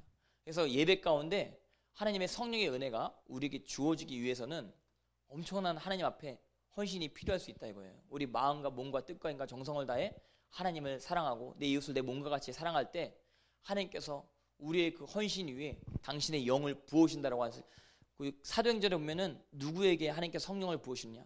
당신의 말씀에 순종하는 자에게 성령을 부으신다. 이렇게 이야기하고 있는 것을 보게 되는 것입니다. 소재는 반드시 기름의 요소가 들어가야 되는 것이고 유향의 요소가 들어가야 되는 것입니다. 그러니까 소재를 집행하는 제사장들은요, 이 유향 냄새를 계속 맡아야 되는 것이고 향기로운 냄새인 것입니다. 제가 유향을 한번 접해본 적이 있는 것입니다. 유향 냄새를 한번 그 송도 가가지고 아내랑 같이 맡아봤는데 굉장히 향기롭습니다. 그 냄새가. 고급스러운 어떤 향기가 샥 나는 것을 보게 되는 것이거든요. 예수 그리스도를 믿는 예배자들 가운데 이런 고급스러운 냄새가 나야 되는 것이. 이 고급스러운 냄새는 예수 그리스도의 냄새인 것입니다. 복음이 증거되어지면 군독 어, 군도서에 사망의 냄새가 나는 사람은 사망의 냄새가 나는 사람으로 드러나는 것이고 어떤 사람은 예수 그리스도의 향기가 나타나게 되는 것이고 그래서 예수 그리스도를 믿을 때 빛과 소금의 역할이 주위 사람들에게 어, 감당되어지는 이런 역사가 나타난다고 하는 사실 이 소재를 통해서 우리가 알 수 있는 것입니다. 그래서 그 위에 기름을 붓고 유향을 놓고 2장 2절 같이 보겠습니다. 시작. 아론의 자손 제사장들에게로 가져갈 것이요 제사장은 그 고운 가루 한 움큼과 기름과 그 모든 유향을 가져다가 기념물로 제단 위에 불사를 찌니 이는 화제라 여호와께 향기로운 냄새니라. 예. 이 소재 중에 어, 불타오르는 그 재단에 한 움큼을 가지고 그걸 확 뿌리는 것이거든요. 이 한 움큼을 뿌리고 나머지는 제사장들이 다 가지게 되는 것입니다. 예, 그래서 고운 가루 한 움큼과 기름과 그 모든 유향을 가져다가 기념물로 제단 위에 불사를지니. 이 기념하다라는 이 단어가 memorial portion. 그래서 어, 기념물, 기억하다라는 뜻인 것이거든요. 예수님께서 성찬을 하실 때 너희는 이것을 기억하라, 메, memory하라. 이렇게 말씀하시는 것을 보게 되는 것입니다. 뭘 memory해야 되느냐? 예수님께서 생명의 떡이심을 여러분들이 기억하셔야 되는 것입니다. 예수님께서 생명의 떡, 이심에도 불구하고 당신께서 불같은 열정을 가지시고 십자가에서 희생하셨다라고 하는 사실을 여러분들이 기억하셔야 되는 것입니다. 그래서 이 떡을 우리가 성찬을 통해서 먹고 마실 때 예수 그리스도의 희생을 기억하면 또한 예수님의 말씀의 고귀함을 깨닫게 된다라고 하는 사실을 기억해야 되는 것이거든요. 그런데 기념물로 제단 위에 불사를 지니 이는 화제라 여호와께 향기로운 냄새니라. 화제란 이 단어가 어, 불타는 제사다 이렇게도 번역이 되지만 food offering 먹는 제사다 이렇게도 번역이 되는 것입니다. 소재는 하나님께서 드시는 것이 하나님께서 하나님께서 하나님께서 맛있게 여기시는 사람이 있는 것입니다. 어떤 사람을 딱 보면 굉장히 맛있어요. 예, 어떤 사람이요? 빛과 소금 역할을 감당하는 사람인 것입니다. 예, 소금 같이 그 사람만 있으면 세상이 하나님 보시기에 그래도 살만한 세상인 거라. 그래서 하나님께서 진노를 내리시려고 하시다가도 소금과 같은 어떤 사람이 있기 때문에 세상을 심판하지 아니하는 어떤 이러한 역사가 어, 성경에 기록되어져 있는 것을 보게 되는 것이거든요. 그래서 소재는 화재고 기념재고 그리고 소재를 통해서 어, 향기로운 어떤 그 냄새가 풍겨질 수 있다고 하는 사실 어, 아셨으면 좋겠습니다. 그리고 어, 2장 4절 같이 보겠습니다. 2장 4절 시작. 내가 화덕에 구운 것으로 소재의 예물을 드리려거든 고운 가루에 기름을 섞어 만든 무교병, 무, 무교병이나 기름 바는 무교전병을 드릴 것이요. 예, 소재에는 여러 가지 종류가 있는 것이거든요. 첫 번째는 화덕에 구운 것. 화덕에 구운 것이 어떻게 이제 번역이 될 수 있냐면 어, 영어 성경엔 baked in the oven 이렇게 어, 번역이 되어져 있는 것입니다. 오븐에 베이크된 거. 베이커리 여러분들 여기 주위에 많이 있는 것이죠. 베이커리에 이 오븐에 이게 탁 부풀어 오른 빵들 여러분들 보시는 것이죠. 소재 재료를 가지고 고운 가루를 가지고 오븐 이 열이 높은 어떤 그런 데 집어넣어서 이렇게 베이크된 그것이 이제 화덕에 구운 것이라고 우리가 볼 수 있는 것입니다. 이렇게 맛있게 오븐에 베이크된 재료를 하나님 앞에 올려드릴 수 있었던 것이었고 그리고 2장 5절 같이 보겠습니다. 2장 5절 시작 철판에 붙인 것으로 소재의 예물을 드리려거든 고운 가루에 누룩을 넣지 말고 기름을 섞고 예, 철판에 붙인 것. 두 번째는 예, 철판에 붙인 것인데 철판이 어떻게 생겼는지 제가 예전에 본 적이 있는 것이군. 철판에 이렇게 구멍이 뿅뿅뿅뿅 나 있어요. 그래가지고 고운 가루를 여기다가 이렇게 넣으면 고운 가루가 이 철판에 뿅뿅뿅뿅 요 동그란 모양으로 형태가 주주되어지는 것을 보게 되는 것이거든요. 예, 철판으로 구운 소재 예물을 준비할 수 있었다라고 하는 사실 우리가 알 수 있는 것이고 그리고 2장 7절 같이 보겠습니다. 시작. 내가 냄비의 것으로 소재를 드리려거든 고운 가루와 기름을 섞어 만들지니라. 예, 세 번째는 냄비로 만드는 것인데 냄비는 이렇게 솥 비슷한 이렇게 이런 모양으로 여기에다가 이제 소재 고운 가루를 집어넣고 불을 달구는 것이죠. 그러니까 이런 식으로 해서 소재의 예물을 준비할 수 있었던 것이었습니다. 근데 이 화덕에 구운 것이나 철판, 냄비 이 소재 예물을 준비할 때 공통적인 특징이 무엇이냐면 누룩을 넣지 말라 이야기하는 것이거든요. 예, 누룩을 넣으면 이 고운 가루가 달궈질 때 굉장히 맛있어지게 되는 것입니다. 달달해지게 되는 것이거든요. 근데 누룩을 넣지 말라. 그러니까 누룩이 복음서에 어떻게 비유가 됐냐면 바리새인의 누룩을 조심하라 예수님께서 말씀하시는 것입니다. 예, 사두개인의 누룩, 헤롯의 누룩, 누룩을 조심하라 말씀하시는 것이고. 그러니까 하나님 말씀을 따른다라고 하는데 하나님 근본 율법의 말씀의 본래 취지를 저버린 어떤 자기 자신의 율 례와 행동들 그런 패턴들을 예수께서 굉장히 책망하시는 구문이 복음서에 나오는 것을 보게 되는 것입니다. 예, 그래서 누룩을 넣지 말고 기름을 섞어. 이건 뭐냐면 세상적인 것이 예배 가운데 들어가면 안 된단 말이에요. 세상적인 어떤 달콤한 그 프로그램적인 어떤 그런 요소 그런 게 예배 가운데 들어가면 안 된다 이것인 것입니다. 예, 예배 가운데는 주님께서 말씀하신 패턴대로 많이 실행되어져야 되는 것이거든요. 많은 사람들이 세상적으로 콘서트 막 진행하는 식으로 예배 가운데 예배를 구성하는 것을 보게 되는 것입니다. 하나님께서 그런 것들을 기뻐하지 아니하시는 것입니다. 그리고 많은 사람들이 예배 가운데 어떤 감정적인 터치를 원하시는 분들이 많이 있는 것이거든요. 예수님께서 예배에 대해서 정의하실 때 신령과 진정으로 예배드릴지 말씀하시는 것이에요. 영의 예배를 예수님께서 기뻐하시는 것입니다. 영의 예배는 어떤 예배냐? 하나님을 감각하는 예배인 것이고 하나님을 높이는 예배인 것이거든요. 이 영의 예배는 말씀과 연결되어 있습니다. 영과 진리로서 예배될지나. 근데 많은 사람들이 혼적인 터치를 많이 원합니다. 감정적인 터치를 많이 원해서 강대상에서 막 아, 저 목사님이 제발 좀 나를 웃겼으면 좋겠다. 이렇게 기대를 하고 예배 가운데 참석하시는 분들 가끔씩 있고 어떤 분은 아, 내가 상처가 많은데 아, 내 이 상처 감정적으로 좀 조금 이게 아주 슬픈 얘기, 아주 그 고난받은 얘기를 목사님이 하셔가지고 그거 좀 터치받았으면 좋겠다. 이런 식으로 기대감을 가지고 예배 가운데 참석하신 분들이 있을 수 있는 것입니다. 이게 뭐냐면 혼적인 터치를 원하는 것이거든요. 어떤 인간적인 어떤 의도성을 가지고 누룩을 예배 가운데 첨가하면 그 하나님께서 기뻐하지 아니하신다 이거예요. 단순하게 하나님께서 하라는 대로만 하면 되는 것입니다. 찬양하라 하셨으면 호흡이 있는 자마다 찬양하라 하셨으면 그렇게 찬양하면 되는 것입니다. 그리고 뛰놀며 찬양할지어다 주님께서 말씀하셨으면 그대로 우리 감정과 느낌 상관없이 우리가 좀 침울할지라도 주님께서 뛰놀며 찬양할지라 이렇게 말씀하셨으면 그냥 그대로 뛰놀며 찬양하면 돼요. 슬퍼도 그냥 내 육신을 쳐서 복종시키는 식으로 주님 말씀에 순종하면 되는 것입니다. 그럼 주님께서 역사하시는 것이거든요. 그리고 예배 가운데 탬버린으로 찬양할지어다. 이렇게 기록된 구문이 있는 것입니다. 시편에. 그럼 탬버린 가지고 예배당 가운데 이렇게 확 탬버린 땅땅 거리면서 찬양하는 것을 하나님께서 기뻐하시는 것이고. 예, 그리고 예배 가운데 진리의 말씀이 선포되어진다. 예수님 말씀하시는 그 구문이 그 어떤 말씀이냐면 복음서 말씀 그대로 선포되어져야 된다 이거예요. 그래서 이 성경 말씀이 그대로 이 강대상에서 선포되어질 수 있다고 한다면 그 예배를 하나님께서 기뻐하신다라고 하는 사실. 이 사실 기억하시길 주님 여러분 축복합니다. 그래서 아무튼 저에게서 여러분들 많은 것들을 바라지 마세요. 저는 이 성경 말씀만 그대로 증거하기를 원하는 것입니다. 좀 제가 뭐 말씀을 잘 전할 때도 있고 못 전할 때도 있는 것이거든요.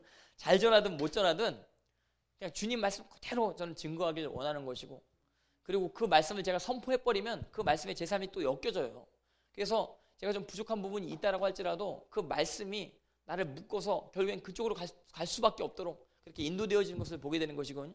그래서 저는 이 강대상이 말씀에 대한 내 믿음의 고백인 것입니다. 그것뿐만 아니라 이 말씀 그대로 내 입술로 선포되어짐으로 하나님의 메시지가 전달되어지는 식으로 강대상에 쓰이길 원하는 마음이 있는 것이거든요. 아무튼 여러분들도 이곳 가운데 와서 어떤 인간적인 어떤 뭐 카타르시스 이런 것들 바라지 마시길 주님의 이름으로 축복합니다. 오직 단순하게 느낌과 감정은 상관없이 믿으면 역사가 되어지는 것입니다. 어떤 상황이든지 여러분 기뻐할 수 있는 것입니다. 기뻐하라 명령하셨습니다. 기뻐 기뻐하고 기뻐하고 또 기뻐하라. 몇 번씩 바울이 감옥에서 빌립보서에서 이야기하는 것이거든요. 감옥에서 기뻐하라 이걸 적도록 하나님께서 그 허용하신 섭리가 있는 것이에요. 감옥에서도 기뻐할 수 있는 것입니다. 지금 바울이 죽기 전 상황인 것이거든요. 죽기 전에도 기뻐하라. 이렇게 이야기하는 것이에요. 그러니까 예배는 내 느낌, 내 감정 상관없어요. 아, 오늘은 예배 드리기 싫은 감정이네. 이런 거 없다니까요. 주일 예배 드리기 전에 아, 진짜 짜증나. 누구랑 다퉜어. 아, 누가 나에 대해서 막 무슨 안 좋은 얘기들을 막 해야 되는데 이것 때문에 내가 눌려. 그래서 내가 예배를 못 드리겠어. 이런 거 없습니다. 예. 예배는 믿음으로 드려야 되는 것입니다. 믿음으로 신령과 진정으로 하나님 앞에 나와서 여러분들이 여러분들이 몸을 쳐서 복종을 시키는 식으로 순종하는 식으로 의, 의에 여러분들의 몸을 맡기신다라고 한다면 하나님의 성령께서 여러분들의 생각을 뛰어넘는 역사로 여러분들 주장하실 것을 믿으시기를 주님의 이름으로 축복합니다. 그래서 화덕에 구운 것이나 철판 철판에 구운 것이나 뭐 냄비에 구운 것이나 상관없이 어떤 것이든지 전부 다 누룩이 들어가면 안 되는 것입니다. 무교병이나 기름에 바른 무교 전병을 드릴 것이고, 예, 무교 전병은 넓적한 것이거든요. 넓적한 것 이렇게 넓적하게 이렇게 만든 거. 무교병은 이렇게 뭐 모양이 있는 뭐 과자 같이 어, 생긴 것입니다. 예, 그리고 이것을 어, 아론과 그의 아들에게 돌릴 것이요. 한 움큼 빼고는 전부 다 아론과 그의 아들에게 아들들에게 돌려지게 된다. 그래서 소재는 나눔의 제사다라고 하는 사실. 어, 그리고 2장 11절 같이 보겠습니다. 시작. 너희가 여호와께 드리는 모든 소재물에는 누룩을 넣지 말지니 너희가 누룩이나 꿀을 여호와께 화제로 드려 사르지 못할지니라. 예, 잠언에 보면은 음란한 어떤 여인에 대해서 나오는데 음란한 여인이 꿀을 떨어뜨리는 것과 같다 이렇게 기록되어 있는 것입니다. 꿀은 세상 쾌락을 상징하는 것입니다. 예배 가운데 예, 뭐 쾌락적 어떤 요소 이런 것들 바라지 마시고 그리고 예배 가운데 어떤 젊은이들은 잘생긴 남자, 이쁜 여자 막 이렇게 찾아다니는 사람들이 가끔씩 있단 말이에요. 내 교회. 제가 예전에 CBS 어떤 라디오 프로그램 제가 듣는데 개척교회 사람들이 왜 안 가는가 토론이 벌어졌습니다. 제가 한번 들어봤는데 왜 안 가냐. 젊은이들이 막 토론하는데 아, 개척교회 가면요. 저 또래 남자애들 이성 여자애들이 없, 없기 때문에 어디 개척교회 가가지고 결혼이 되겠어요? 그래도 개척교회 가기 전에 큰 교회 가가지고 좀 건져가지고 개척교회 와야지. 그러면서 큰 교회 다니면서 개척교회 끝까지 안 와. 예, 그런 식으로 서로 토론이 이루어지는 것을 보게 되는 거. 남자친구, 여자친구 막 정신없이 사귄 애들이 막 대교회에 많이 많이 있단 말이에요. 제가 그런 대교회 카사노바 애들을 제가 몇 번 많이 경험을 했습니다. 예. 근데 아무튼 자기의 어떤 쾌락을 위해서 교회를 다니시는 분들이 가끔씩 있을 수 있는 것인데 아무튼 이런 제, 이런 태도로 교회 나가시는 분의 예배는 하나님께 올려질 수가 없는 것이에요. 그러니까 요즘에 이제 그 중고등학교 애들 청소년 애들 교회 오빠 좋아하죠. 교회 오빠 한번 보려고 교회 가가지고 예, 오빠 한번 건져보려고 교회 다니시는 분들이 있는데 예, 그런 식의 태도를 주님 앞에 회, 자백하시길 주님의 이름으로 축복합니다. 예, 그래서 예, 꿀을 여호와께 화제로 드려 사르지 못할지니라.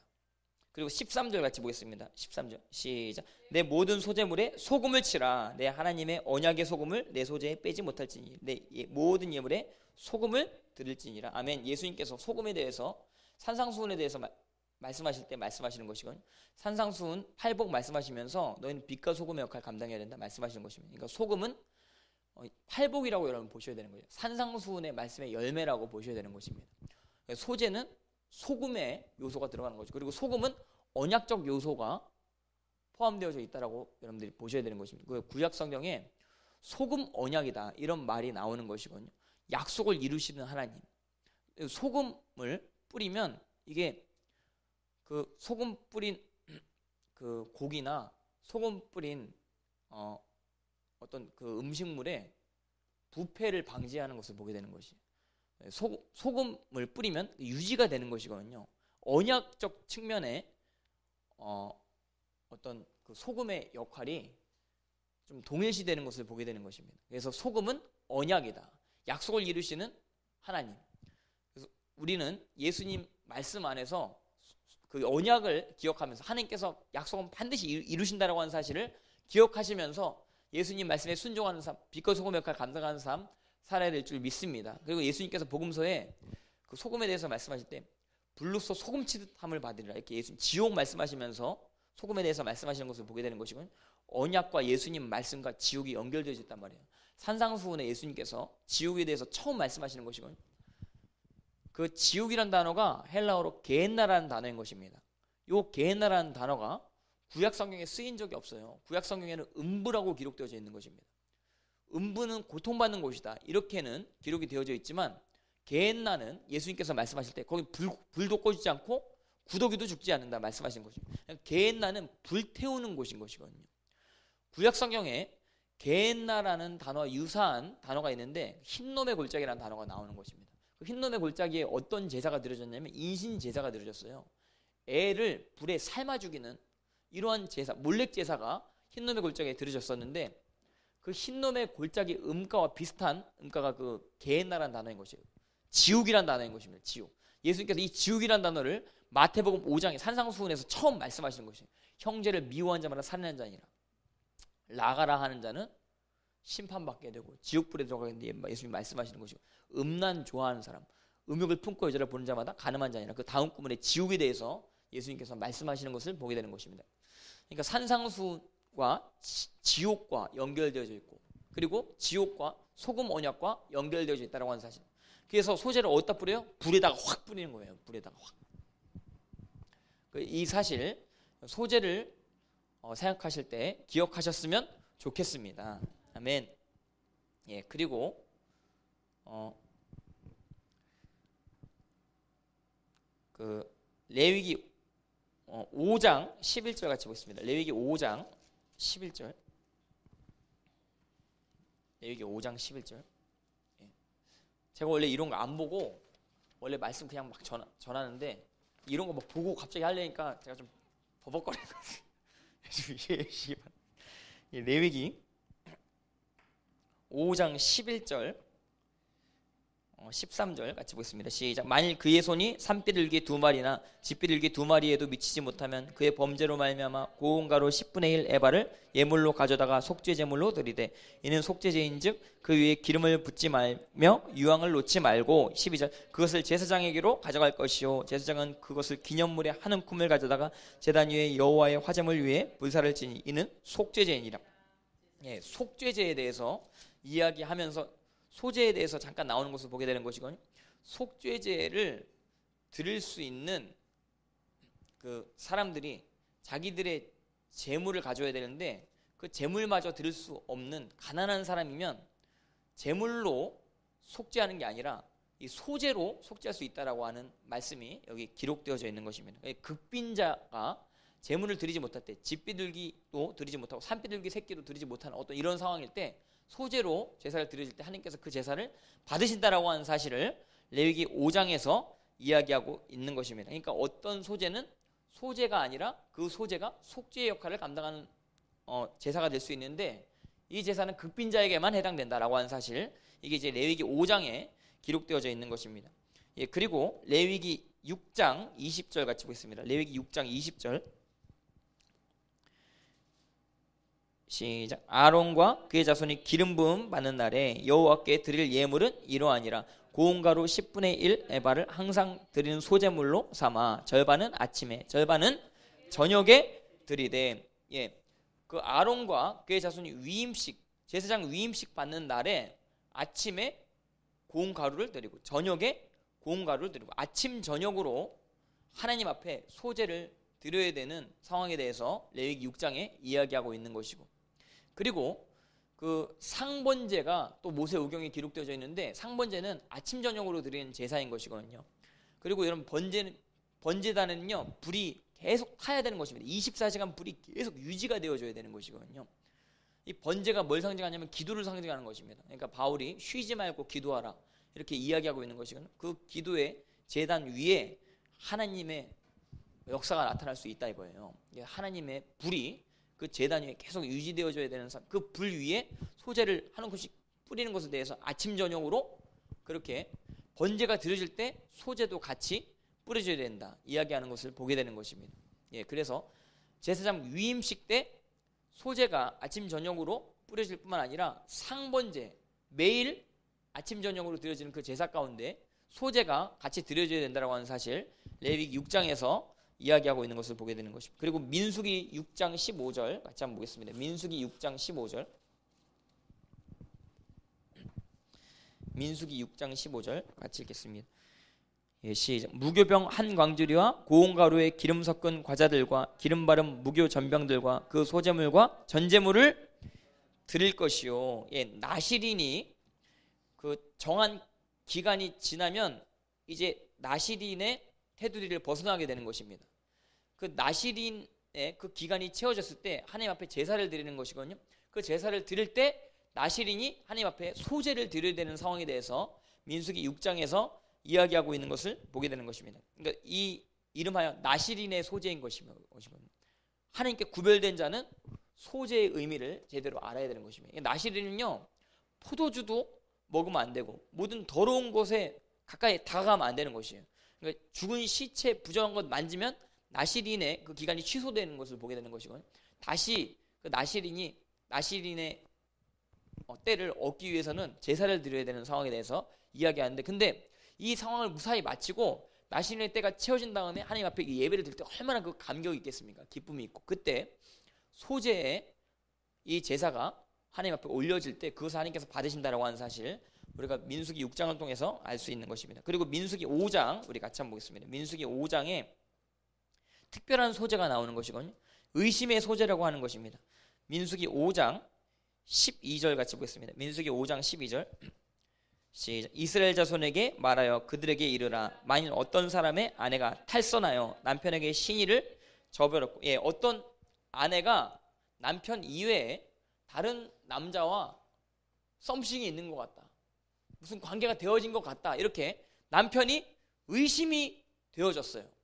근데 이 여자가 진짜 다른 사람하고 썸씽이 있었는지 없었는지 진짜 동침을 했는지 안 했는지 확실히 모르는 상황 가운데 의심이 된단 말이에요. 여러분 그 남편과 아내 가운데 이렇게 의심이 되면 제대로 그 관계성이 유지되어질 수 없는 것입니다. 아무튼 남편과 아내 관계 가운데 의심이 되는 부분은 반드시 풀어야 되는 것이거든요. 근데 아무리 아내가 아, 난 그렇게 바람 안 폈어 이렇게 얘기를 했는데도 남자 계속 의심이 돼요. 이럴 때는 그 의심하는 마음 그걸 가지고 제사장한테 나아가야 되는 것인데 그 아내가 제사장 앞에 나아가가지고 자기의 결백을 밝혀야 되는 것입니다. 예배 가운데 이런 일이 있는 것이건 좀 억울한 상황이 있는 것이에요. 나는 정말 남편한테 그런 마음이 없었고 나는 그런 적 한 번도 없었는데 남편이 자꾸 나를 의심해. 이럴 때 하나님 앞에 나와가지고 강구할 때 하나님께서 그 모든 의심의 부분들이 풀어질 수 있도록 역사하실 수 있다라고 하는 사실 기억하시길 주님의 이름으로 축복합니다. 그래서 여자의 더러워진 어떤 일에 증인도 없고 그가 잡히지 아니었는데 남편이 의심이 생겨 아내를 데리고 제사장에게로 가는 것입니다. 근데 그때 15절 같이 보겠습니다. 민수기 5장 15절. 시작. 그의 아내를 데리고 제사장에게로 가서 그를 위하여 보리가루 10분의 1 에바를 헌물로 드리되 그것에 기름도 붓지 말고 유향도 두지 말라. 이는 의심의 소재요 죄악을 기억나게 하는 기억의 소재라. 예, 보리가루 10분의 1 에바를 소재로 드릴 때 관계가 회복되어 수 있다라고 하는 사실. 이것에 대해서 민수기 5장에서 이야기하고 있는 것입니다. 그래서 이 소재를 활용해서 이 여자가 진짜 바람 폈는지 안 폈는지 이거 증명해내는 어떤 절차에 대해서 민수기 5장에서 이야기하는데 여러분들 이 민수기 5장 나중에 찾아가지고 어, 보실 때가 있으면 보시면 되는 것입니다. 예. 그리고 민수기 7장 우리 같이 보겠습니다. 민수기 7장 12절 민수기 7장 12절 시작. 첫째 날에 헌물을 드린 자는 유다 지파 안미나답의 아들 나손이라 13절 그의 헌물은 성소의 세겔로 130세겔 무게의 음반 하나와 70세겔 무게의 음발이 하나라 이 두 그릇에는 소재물로 기름 섞은 고운 가루를 채웠고 아멘. 하나님께서 각 지파별로 지도자를 세우는 것을 보게 되는 것이고 그 구체적으로 지도자를 누구를 세워라 어떤 한 사람을 정확하게 지칭하는 식으로 지도자를 세우시는데 유다 지파에는 암미나답이 세워지는 것이고 이사갈에는 느다넬이 세워지게 되고 이런 식으로 각 지파마다 지도자가 세웠을 때 그 지도자가 하나님 앞에 감사하는 감사 예물로 소재를 드리게 되는 것을 보게 되는 것입니다. 예. 그래서 지도자가 특별하게 하나님 앞에 감사했을 때 소재의 예물을 하나님께 올려드리는 경우가 있었다라고 하는 사실을 민수기 7장을 통해서 알 수 있는 거죠. 민수기 15장 어, 같이 보겠습니다. 민수기 15장 민수기 15장 24절 민수기 15장 24절 시작. 회중이 부지 중에 범죄하였거든 온 회중은 수송아지 한 마리를 여호와께 향기로운 화제로 드리고 규례대로 소제와 전제를 드리고 순념소 한 마리를 속죄제로 드릴지니라. 아멘.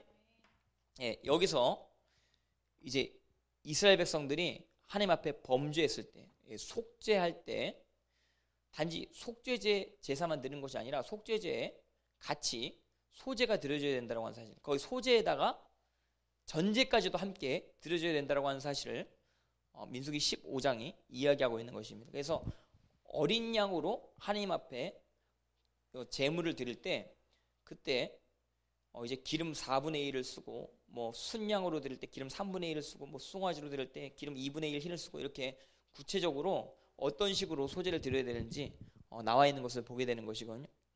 어, 민수기 15장에서는 하나님 앞에 이제 속죄의 예물을 드리거나 이제 번제 예물 중에 이제 하나님 앞에 올려드리는 제사를 드릴 때 어, 소재가 같이 첨가되어진다고 하는 거예요. 그래서 그 어떤 분은 소재는 항상 번제, 속죄제, 속건제 드려질 때 같이 드려졌다 이렇게 이야기하시는 분들도 있고 어떤 분은 소재가 소재만 드려지는 제사도 있고 소, 소재는 번제와 같이 드려지는 제사도 있고 이렇게 번제와 같이 드려지는 소재, 소재 따로 드려지는 소재 이렇게 소재를 나누시는 분들도 있는 것을 보게 되는 것입니다. 예, 근데 아무튼 소재는 어, 하나님 앞에 곡식을 올려드리는 제사다. 이것을 기억하시고 이 안에 또 어떤 영적인 의미에 대해서 여러분들이 성경을 보시면서 어, 깊이 아, 아시면 되겠습니다. 예, 그리고 전제에 대해서 우리 같이 좀 알아보겠습니다. 전제 전제는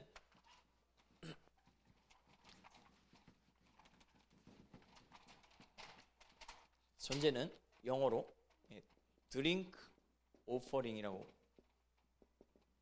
이야기하는 것이거든요. 이건 뭐예요? 마시는 제사란 말이에요. 예, 술 먹는 제사란 말이에요. 술.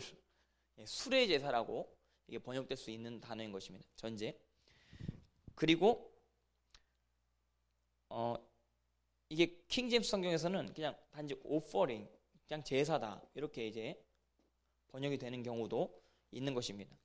그이 전제는 어떤 제사냐면 번제나 어떤 제사가 드려질 때 그 번제단에 술을 콸콸콸콸 붓는 것이거든요.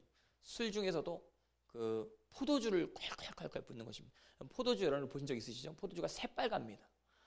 그 이방 제의 의식들 여러분을 보시면 피를 막 제단에 막 드리고 막 그런 제사가 있는 것이거든요. 옛날에 제가 인디아나 조스인가 뭐 볼 때 마야 문명의 어떤 사람들이 막 심장을 막탁 떼가지고 피를 막팍 제단에 바치고 이런 것을 제가 본 적이 있는 것입니다.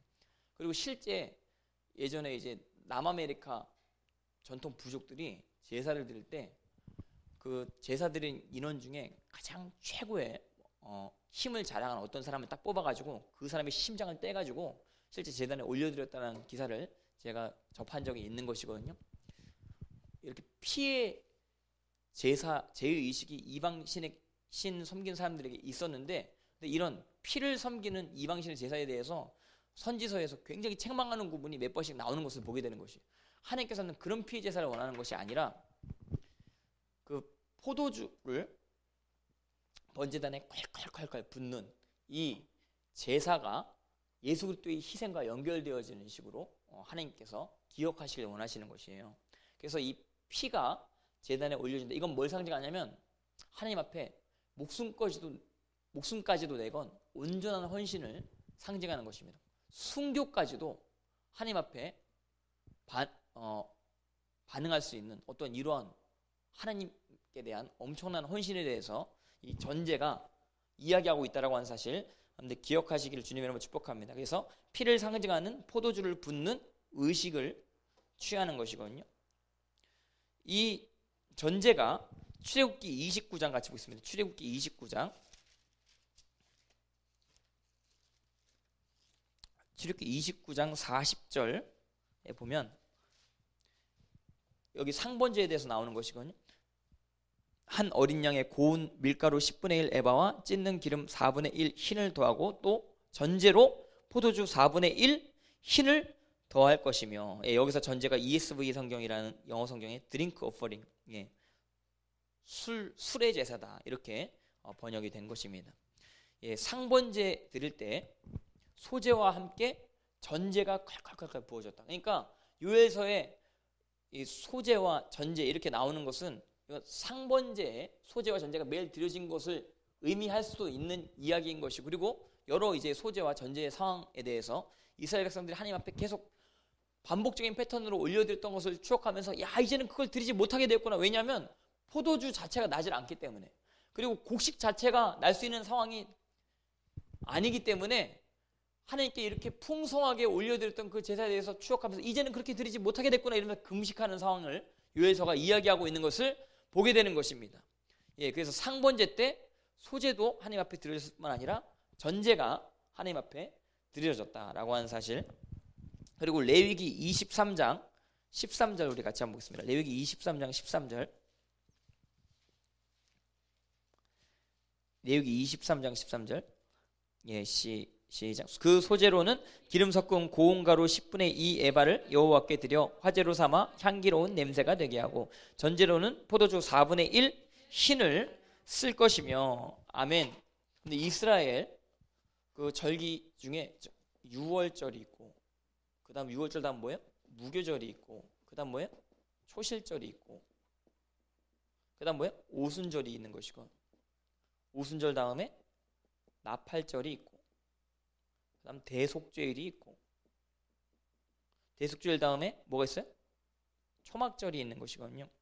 근데 요 절기 중에 하나님께 특별하게 소재를 드려야 되는 절기가 세 절기가 있는데 그 절기에 대해서 레위기 23장이 이야기하고 있는 것입니다. 레위기 23장 13절은 초실절의 소재와 전제에 대해서 이야기하는 것이고 초실절 이때 하나님 앞에 일반적으로 드려지는 상번제 그 소재와 전제 이외에 또 새로운 초실절 때문에 드려지는 그 소재와 전제를 하나님께 따로 드려야 된다라고 어, 이야기하고 있는 것을 우리가 레위기 23장 13절을 통해서 알 수 있는 것입니다. 다시 한번 우리 같이 보겠습니다. 레위기 23장 13절에 그 소재로는 기름 섞 기름 섞은 고운 가루 10분의 2 에바를 여호와께 드려 화제로 삼아 향기로운 냄새가 내게 하고 전제로는 포도주 4분의 1 흰을 쓸 것이며 예. 이게 언제 드려줘야 되는 것이냐면 첫 이삭 한 단을 바치는 절기. 이 절기는 초실절인 것입니다. 이 23장 10절에 끝에 너희의 곡물의 첫 이삭 한 단을 제사장에게 가져올 것이요. 이게 초실절인 것이거든요. 예. 이 영적으로 초실절은 예수 그때 부활을 상징하는 것이거든요. 예, 수님께서 우리의 부활의 첫 열매가 되셨도다. 이게 바울이 이렇게 이야기하고 있는데 이게 뭘 얘기하냐면 군도전서 초실절을 이야기하는 것입니다. 군도전서 15장에 이 초실절에 대해서 바울이 설명하고 있는 것을 보게 되는 것이고 그리고 오, 어, 레위기 23장 18절 같이 보겠습니다. 레위기 23장 18절 시작. 너희는 또 이 떡과 함께 1년 된 흠없는 어린 양 일곱 마리와 어린 수소 한 마리와 순양 두 마리를 드리되 이것들을 그 소재와 그 전제 제물과 함께 여호와께 드려서 번제로 삼을지니 이는 화제라 여호와께 향기로운 냄새며 예, 소재와 전제 제물이 여기 또 나오는 것이거든요. 이때가 언제냐면 일곱 안식일 이튿날까지 아파요. 50일을 계수하라. 이게 뭐예요? 오순절인 것이거든요. 다섯 오 다섯 순일 것입니다. 그래서 예, 50일째 되는 날 하나님 앞에 드려지는 제사에 소재와 전제가 드려졌다라고 하는 사실 우리가 알 수 있는 것이고 그리고 또 어, 레위기 23장 37절 같이 보겠습니다. 레위기 23장 37절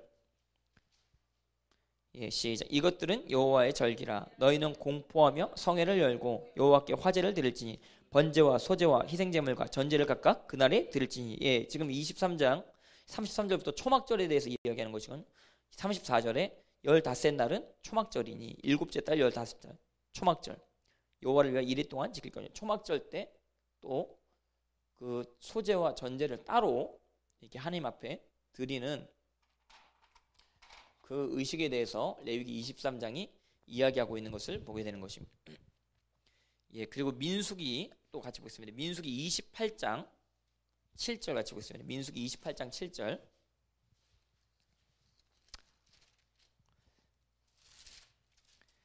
민수기 28장 7절 같이 읽겠습니다. 시작. 또 그 전제는 어린 양 한 마리에 4분의 1 흰을 드리되 거룩한 곳에서 여호와께 독주의 전제를 부어 드릴 것이며 여기서 특별한 단어가 나오는데 전제 중에서도 무슨 전제라 그래요? 독주의 전제라고 이야기하는 것입니다. 이 독주라는 단어가요. 이게 어, 킹 제임스 성경에서는 strong wine 이렇게 이제 번역이 되는 것이거든요. 독한 와인이라는 뜻인 거죠. 독한 와인. 킹 제임스 성경에서는 그리고 NIV의 성경에서는 fermented drink 이건 뭐냐 어떤 뜻이냐면 발효된 술이라는 뜻인 것입니다. 엄청나게 발효된 예. 예. 예. 아무튼 제가 예전에 어떤 아시는 어떤 분이 술을 벌컥벌컥 마시고 막 설교를 하시고 막 그런 분이 성찬에 이제 발효된 막 그 냄새가 난단 말이에요. 거기를 들어가지고 그걸 마신다. 아무튼 여러분들 그러면 안 됩니다. 그러면 안 됩니다. 예, 발효된 술, 이 독주라고 어떤 성경 번역을 했고, 그리고 ESV, NASB 성경에서는 strong drink, 아 독한 술이다. 독한 drink 이런 뜻으로 번역이 된 것입니다. 독주 여러분들 하나님 앞에 순교의 마음까지 여러분 가려면 독하셔야 되는 것입니다. 독해져야 되는 것입니다. 예, 독한 마음을 가셔야 돼요. 손영호 목사님, 주기철 목사님 지금 많은 사람들이 그 요즘에 TV 방영해가지고 막 그분을 높이고 불신자들도 다 좋아요 하더라고요. 손영호 목사님, 주기철 목사님은 막 싫어하는 사람이 불신자들도 없더라고요. 그리고 제가 손영호 목사님, 주기철 목사님 그 방향되고 나서 저는 예배 때문에 그때 당시 못 봤는데 그리고 그 네이버 딱 보니까 검색어 메디에 딱 올라와 있더라고 손영원 주기철. 근데 딱 보니까 다 손영호 목사님 너무 좋아요. 본받고 싶어요. 주기철 목사님 너무 좋아요. 막 다 그러는데 그분들이 얼마나 독하신 분들인지 여러분들은 잘 알지 못하시는 거죠. 손영원 목사님 따님이 손동희 권사님이신데 그분이 우리 아버지는 대쪽 같은 분이시래요. 그러니까 많은 사람이 손영원 목사님 하면은 아, 그 문둥병자 썩은데 막 다 빨아주시고 막 그분들 막 섬겨주시고 그분들이랑 같이 지내신 사랑의 사도다. 이렇게 생각하는데 손동희 원사님이 자기 아버지 이야기하는데 대쪽 같은 분이시래. 아버지 어떻게 우리 오빠 죽인 저 원수를 우리 가족 구성원을 어떻게 받아들일 수가 있어요? 막 따지고 드는데 동이야. 성경을 봐라. 예수님께서 원수를 사랑하라고 하셨다. 내 아들을 죽인 저 공산주의자라고 할지라도 원수라도 사랑해야 되지 않겠느냐 대쪽 같으세요. 대쪽 같으세요. 그래서 손양호 목사님 그 6.25 전쟁이 일어났을 때 예양원에서 많은 사람들이 탈출하는 것이거든요. 근데 문둥병자들은 탈출을 못하는 것이에요.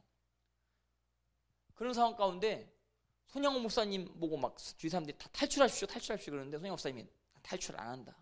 이 문둥병자 얘네들 놔두고 내가 어딜 가냐? 나 탈출 못한다. 니들 가라. 난 얘들과 같이 죽겠다. 막 이런 식으로 하는데 사람들이 막 손양호 목사님 끄, 끌어가지고 배에다 막 태우고 막 그런단 말이에요. 근데도 손양 목사님이 배에서 막 기어 나오는 것입니다. 굉장히 독하시죠. 그렇게 독하게 마음 먹고 이제 설교를 하시기 시작하는 것입니다. 이제 마지막 일주일 남은 것이거든요. 순교 당하신다라고 그분은 그때 당시에 생각을 못 하셨겠지만 이제 순교 일주일 전에 첫째도 순교요, 둘째도 순교요, 셋째도 순교라 이러면서 막 설교하시는 것이에요. 문둥병자 애들 앞에.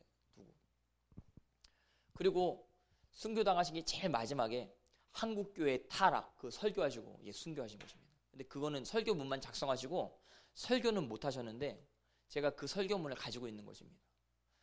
6.25 전쟁이 일어난 이유가 우상숭배 때문이다 설교하시는 것입니다. 6.25 전쟁이 일어난 이유가 무엇이냐? 일본의 그 군정 때 악한 그 습관들, 행습들 한국 교회가 회개하지 않았기 때문에 이 땅 가운데 이런 재앙이 나타난 것이다. 이렇게 설교문을 작성하시고 돌아가신 것입니다. 제가 그래서 그거를 예전에 한번 인터넷에 올린 적이 있는데 굉장한 이슈가 되더라고요. 지금 한국 상황이랑 똑같아요. 지금 한국 상황이랑 똑같아요. 그거 딱 읽어보면. 손양호 목사님 독하신 분인 것입니다. 순교까지 가시는 분들이 하나님 앞에 독한 마음을 가져야 되는 것입니다. 예. 독주를 예배 가운데 팍 부어줍니다. 예배 가운데 어떤 분은요 독한 마음 먹고 오시는 분들이 있다니까 시어머니가 그렇게 막 반대를 하는데 끝까지 예배를 나오시는 분들이 있어요. 그리고 주일 성수해야 된다고 남편이 끝까지 반대하고 아내가 끝까지 반대해요. 어떤 분 글을 읽어보니까 예배만 갔다 오면 막 아내가 미친 듯이 막 달려든대. 왜 당신들만 천국 가려 그래? 왜 이렇게 이기적이야? 왜 이렇게 이기적이야? 막 이러면서 자, 같이 가자 그러면 안 가면서 갔다 오면 막 이기적이라고 막 이야기하고 식기도 하는데 하나님 천국 가게 해주세요. 그러면 기분이 막 상하는 거라. 니들만 천국 가려고 그래. 왜 이렇게 독단성을 가지고 그냥 막 이런 식으로 사태질하면서 하는데도 끝까지 막 기도를 하고 어떤 분은 예배 주일 성수 한다고 시어머니가 냄비 그런 걸 막 그 며느리한테 집어 던져요. 그 며느리 머리 확 맞아가지고 피가 찰찰찰 나면서 막 예배 가운데로. 그리고 어떤 분은요, 제가 얘기 들었는데 옛날 어떤 집사님이 얘기해 주는데 옛날 분들 중에 어떤 분들은 애를 끈에 묶어놓고 예배랑 혼자 왔대요. 왜냐면 애 데리고 오면 애 때문에 예배가 안 들어진다고. 예배를 집에 애를 집에 개 묶어놓듯이 묶어놓고 교회 와가지고 예배 드렸다는 거야. 옛날엔 그랬대요, 진짜. 진짜 그랬대요. 근데 요새는 그런 분들 미쳤다 그러지, 그럼 미쳤다 그래. 독하게 마음 먹고 애를 개 묶어놓듯이 묶어놓고 예배나 와가지고 뭐 하나님 앞에 자유롭게 예배 드리고. 이야, 이런 독한 영성이 독주의 영성인 것입니다. 냄비를 막 집어 던졌는데 머리에 맞았는데 피가 철철 나는데 하나님께서 그 며느리에게 환상을 보여주는데 어떤 환상을 보여주는 천국에 딱 갔는데 하나님께서 그 머리 상처에 금으로 박아주시는데 금으로. 예. 독한 사람이 이런 상급을 얻게 되는 것이에요. 예. 그러니까 어떤 부분에서는 신앙 안에서 주위 사람들 보기에 독주의 어떤 그런 상징성을 띠는 어, 성품이 나타날 수도 있다라고 하는 사실. 예, 주인 사람들 보기에 굉장히 불통으로 보이고 고집스럽게 보이고 그렇긴 하지만 아무튼 그것이 나중에는 전부 다그 하나님의 선한 의도 가운데 있다라고 하는 사실이 다 알려지게 되는 거죠. 감추어진 것이 드러나지 않을 게 없는 것이거든요. 이 땅 가운데 많은 사람들이 문제가 뭐냐면 미지근한 게 문제입니다. 이것도 아니고 저것도 아니고 뜨거우면 뜨겁고 차가우면 차갑지. 이것도 아니고 저것도 아니고 예수님 믿는 것 같은데 예수님 안 믿는 것 같고 안 믿는 것 같은데 또 믿는 것 같은데 이, 이 사람들 이것도 아니고 저것도 아니고 그런 사람들이 이 땅 가운데 많이 있단 말이에요. 이 사람들이 독주를 다 경험해야 된단 말이에요. 하나님 앞에 독하게 헌신하는 그런 어떤 헌신. 이 세대에 필요한 헌신이 아닌가 이렇게 생각이 드는 것입니다. 그래서 전제에 어떤 예배 중에 독주의 예배가 있다라고 하는 사실이 이게 민수기 28장에 기록되어 있는 것입니다. 그리고 빌립보서 우리 신약 2, 2장 27절 우리 성경 두 구절만 보고 오늘 말씀 마치겠습니다. 빌립보서 2장 17절.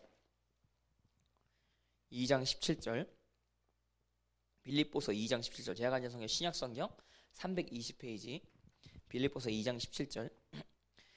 시작. 만일 너희 믿음의 재물과 섬김 위에 내가 나를 전제로 들을지라도 나는 기뻐하고 너희 무리와 함께 기뻐하리니. 아멘. 예, 빌립보서가 옥중 서신이라고 제가 아까 이야기를 한 것입니다 믿음의 재물과 섬김 위에 내가 나를 전제로 들을지라도 이건 뭐냐면 내가 죽을지라도 이 뜻인 것이에요 내가 순교할지라도 니들 봉사하고 헌신하고 하나님 앞에 충성하는 그 재단 위에 내가 앞장서 가지고 내가 그 감옥에서 모가지 잘리고 죽고 이럴지라도 내가 너희 무리와 함께 기뻐할 수 있다 이야기하는 것입니다.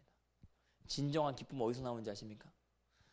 하나님 앞에서 진정한 어떤 희생과 헌신을 드리는 그 위치 가운데 흔들리지 아니하는 삶을 살 때 하나님의 진정한 기쁨이 있을 수 있다는 사실 반드시 기억하시길 주님의 이름으로 축복합니다.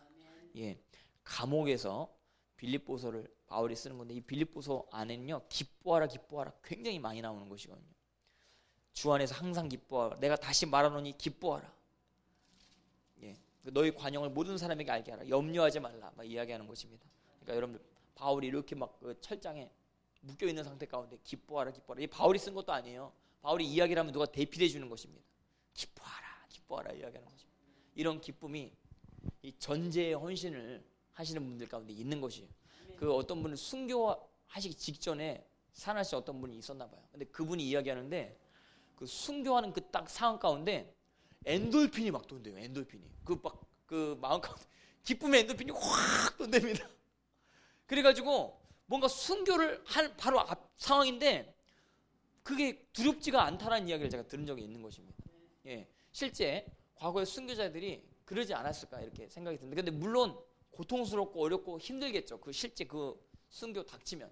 근데 아무튼 순교 닥치기 전에 두려움이 없는 거라. 엔돌핀이 막 도는 거예요. 엔돌핀이. 전제에 헌신을 하시는 분들에게 이런 어떤 엔돌핀의 기쁨이 충만할 수 있다고 하는 사실. 그래서 주님의 사랑이 우리 가운데 함께할 때 성령께서 우리 마음 가운데 역사할 때 그 역사가 환란이나 기근이나 적신이나 칼이나 어떤 것도 그리스도의 사랑에서 끊을 수 없다라고 하는 사실 기억하시길 주님의 이름으로 축복합니다. 아멘. 그리고 마지막으로 디모데후서 4장 우리 같이 한번 보겠습니다. 디모데후서 4장 6절. 디모데후서 4장 6절. 이게 디모데후서가요. 바울이 진짜 순교하기 전에 쓴 마지막 서신서라고 많은 사람들이 생각하는 것이거든요. 빌립보서는 쓰고 그 감옥에서 나왔다라고 이야기를 하는 것이에요. 근데 디모데후서는요 감옥에 또 들어가 가지고 이제 마지막이에요. 순교하기 전에 진짜 쓰는 것이 디모데후서 4장 6절 같이 보겠습니다. 디모데후서 4장 6절 시작 전제와 같이 내가 벌써 부어지고 나의 떠날 시각이 가까이 왔도다. 예, 내가 죽기 전에 이제 처해 있다. 이거 깨닫게 되는 것이거든요. 이젠 진짜 죽겠구나 이렇게 깨닫게 되는 이런 상황 가운데 전제에 대해서 이야기하는 것입니다. 전제와 같이 내가 부어졌다. 그러니까 전제를 딱 여러분 생각할 때 피를 생각하시면 되는데 피는 순교를 이야기할 수 있다. 예. 이 피가 뿌려짐으로 말미암아 로마가 뒤집어진 것입니다. 로마가 어떤 그 역사학자 중에 유명한 역사 아놀드 토임인가 그런 역사학자가 있는데 역사학자가 바울이 타고 간 그 선교 배 안에는 이 1500년의 그 역사가 담겨 있었다 이렇게 이야기한 것을 보게 되는 것입니다. 나중에는 이제 그 바울이 증거한 복음으로 말미암아 로마의 수많은 사람들이 예수 그리스도를 믿게 되고 그 예수 그리스도를 믿는 사람들의 그 영향력이 귀족까지 전해지게 된 것이거든요. 그러니까 귀족들이 로마 시대 굉장히 음탕했었던 것이죠. 뭐 동성연애뿐만 아니라 뭐 애들까지도 막 이렇게 관계용으로 이용을 하고 이런 상황 가운데 그나마 순결한 사람들이 크리스천밖에 없는 거라. 그래가지고 귀족들이 순결한 사람을 원하는 것이거든요. 근데 가난한 어떤 예수님 믿는 가정 가운데 어쩔 수 없이 귀족층으로 딸을 시집 보내야 되는 그런 상황이 있었던 것이에요. 그런데 불신자와 신자와 결혼하면 안 됩니다. 예, 실제 예수 그리스도를 정확하게 믿는다라고 한다면 예수님 믿는 사람끼리 결혼해야 된다라고 하는 사실 기억하시길 주님의 이름을 축복합니다. 아 그럼 하나님 여자가 많고 남자가 적은데 그럼 이거 비율이 안 맞는데 그럼 전 평생 독신으로 살아야 되는 것입니까? 이렇게 혹시 얘기하신 분이 있는데 여러분들이 비율을 너무 걱정하지 마시길 주님의 이름을 축복합니다. 예, 하나님께서 다 알아서 다 해주실 거예요. 예, 비율 걱정하지 마시고 믿는 사람이랑 결혼하겠다 이렇게 작정하시고 안 믿는 사람이랑 결혼한 사람들의 이야기를 전 너무 많이 들었어요. 그렇게 한번 결혼했다가 작살 납니다. 실제 내가 선교의 사명을 가지고 그 가운데 들어가겠다 해가지고 전부 박살 나는 거라. 박살 나는 거. 예배도 제대로 못 드리고 예배 갔다가 오면 뭐 엄청나게 핍박을 당하고 그 그것 때문에 또 막 그 시험에 들고. 그러니까 마음이 합쳐져 가지고 한 목표를 가지고 나아가도 될까 말까 하는 어떤 상황 가운데 마음이 하나 되지 않고 아무튼 어려운 상황이 있을 수 있는데. 근데 예수님을 그런 어떤 이런 진리를 모르고 예수님을 믿고 어, 불신자 남, 남편이 있는 상황이고 불신자 아내가 있는 상황이면 거룩한 행실을 보여야 된단 말이에요. 그 여러분들의 거룩한 행실로 말미암아 믿지 않는 자가 예수님을 믿고 거룩하게 될 수 있는 상황이 있을 수 있는 것이거든요. 그러니까 아무튼 가족 안에서 전도는 행실로 해야 되는 것입니다. 그러니까 저는 이제 강대상에서는 공적으로 선포하지만 가정 안에서는 어, 아내를 사랑해야 되는 것이고 그 부모님을 공경해야 되는 것이고 예, 주위의 가족들한테는 제가 아무리 말로 해도 안 맥혀요. 안 맥혀요. 행동으로 딱 보여주고 또 용서하고 그래야 주님의 사랑을 가족들이 예, 깨닫게 된다라고 하는 사실. 근데 아무튼 해서 로마 귀족층들 가운데 예수님의 영향력이 행사되어지게 되는 것이고. 근데 아무튼 콘스탄티노플 황제가 AD 313년에 기독교를 공인하게 되지 않습니까? 근데 이 공인이 문제긴 문제예요. 기독교가 공인되어지고 나서 기독교가 변질되어지게 되는 것을 보게 되는 거죠. 초대교회 때 핍박받을 때는 굉장히 순수했는데 전혀 흠이 없고 티가 없고 줄이 잡힌 것이 없었던 어떤 그런 순수한 신앙 가운데 이제 핍박이 없어지고 기독교가 공인됐다라고 하는데 다른 어떤 이방신의 문화들이 기독교 안에 스며들게 되는 루트가 열리게 되는 것을 보게 되는 것입니다. 그러니까 콘스탄티노플 황제가 세례도 받고 뭐 기독교를 공인했다라고 하고 전쟁할 때 뭐 하늘에서 뭐 검이 보이고 막 그랬다라고 하죠. 그랬다고 하긴 하는데 그 믿을 게 못 된단 말이에요. 기독교를 이용해 가지고 자기 정치 수단으로 삼았었던 것 같습니다. 예. 근데 아무튼 그럼에도 불구하고 그런 상황 가운데도 순수하게 신앙을 유지하고자 하는 사람들이 막 사막에 막 나가고 막 그런 사막 교부들 이야기가 책으로 나왔는데 제가 그걸 본 적이 있는데 막 굉장합니다.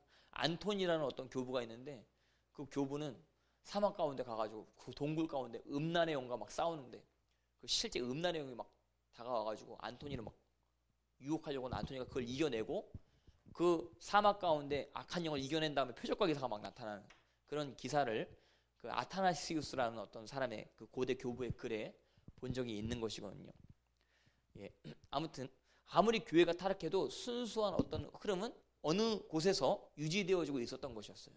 그러니까 뭐가 중요하냐면 뭐 기독교가 정적으로 공인이 됐다 이런 것들이 중요한 것이 아니라 복음서 말씀대로 여러분들이 지금 현재 반응하느냐 반응 안 하느냐 이것이 제일 중요하다라고 하는 사실 기억하시길 주님의 축복합니다. 아무튼 바울의 이러한 순교적 열정으로 말미암아 로마가 까 뒤집어지고 역사가 하나님의 경륜대로 이루어지는데 바울이 한복판에 있었다라고 하는 사실.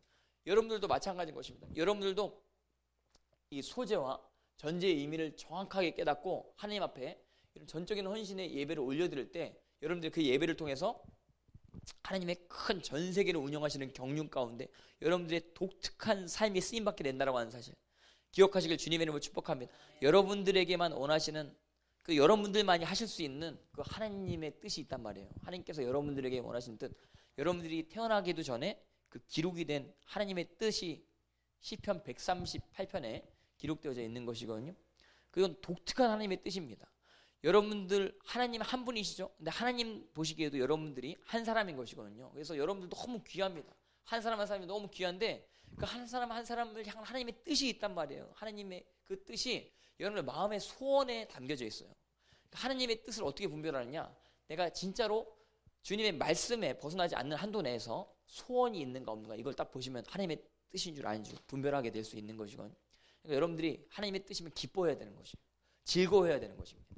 바울은 순교하면서 기뻐했습니다. 그게 하나님의 뜻이었다는 건 사실 알았었던 것이었거든요. 바울이 가이사에게 상소 안 했으면 살아남을 수 있었어요. 순교 안 해도 되는 상황이었어요. 근데 자기 시민권자라고 해서 가이사에게 상소를 한다 이거예요. 차라리 시민권자가 없었으면 상소도 못 했을 텐데 로마 시민권자라는 자격을 이용해서 꼭 네로 황제에게도 복음 증거해야겠다 이거예요. 한번 선포를 해야 된다 이거예요. 로마 황제까지 가장 위에 있는 원수의 세력 앞에서 복음을 직설적으로 선포를 해야 된다 이겁니다.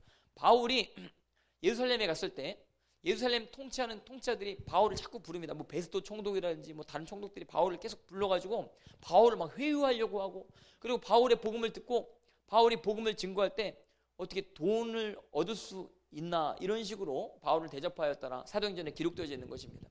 근데도 불구하고 그러니까 바울이 돈을 좀 주면 풀려날 수도 있는 상황인 것이에요. 상속권을 취소하면은 풀려날 수도 있는데 이게 주님 뜻인 줄 바울은 알았었던 것이. 그래서 전제와 같이 내가 부어주고 나의 떠날 시각이 가까이 왔도다. 나는 선한 싸움을 싸우고 나의 달려갈 길을 마치고 믿음을 지켰으니 이제는 의의 멸류관이 예비되어졌으므로 아멘.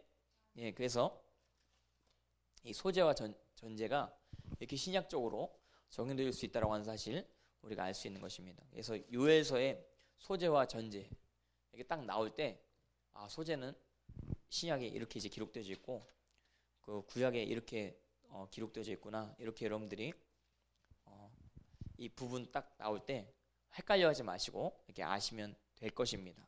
그리고 이거 한 절 한 절 가지고 더 구체적으로도 이렇게 풀 수 있는데 제가 오랜만에 이렇게 그 적어가지고 설교를 했습니다. 예. 근데 이렇게 하는 게 제 스타일이 진짜 아닌 것 같아요. 뭐 버벅거리고 막 진짜 되게 안 되는 것 같아요. 아무튼 이렇게 아무튼 했는데 좀 이해가 가십니까? 이해가 이해가 가십니까? 예, 이해가 가십니까? 할렐루야. 예, 그래서 소재가 전제와 함께 드려진 경우에 제사가 어, 여러 제사들이 많이 있었다라고 하는 사실을 알 수 있는 것이고 전제는 drink offering. 예.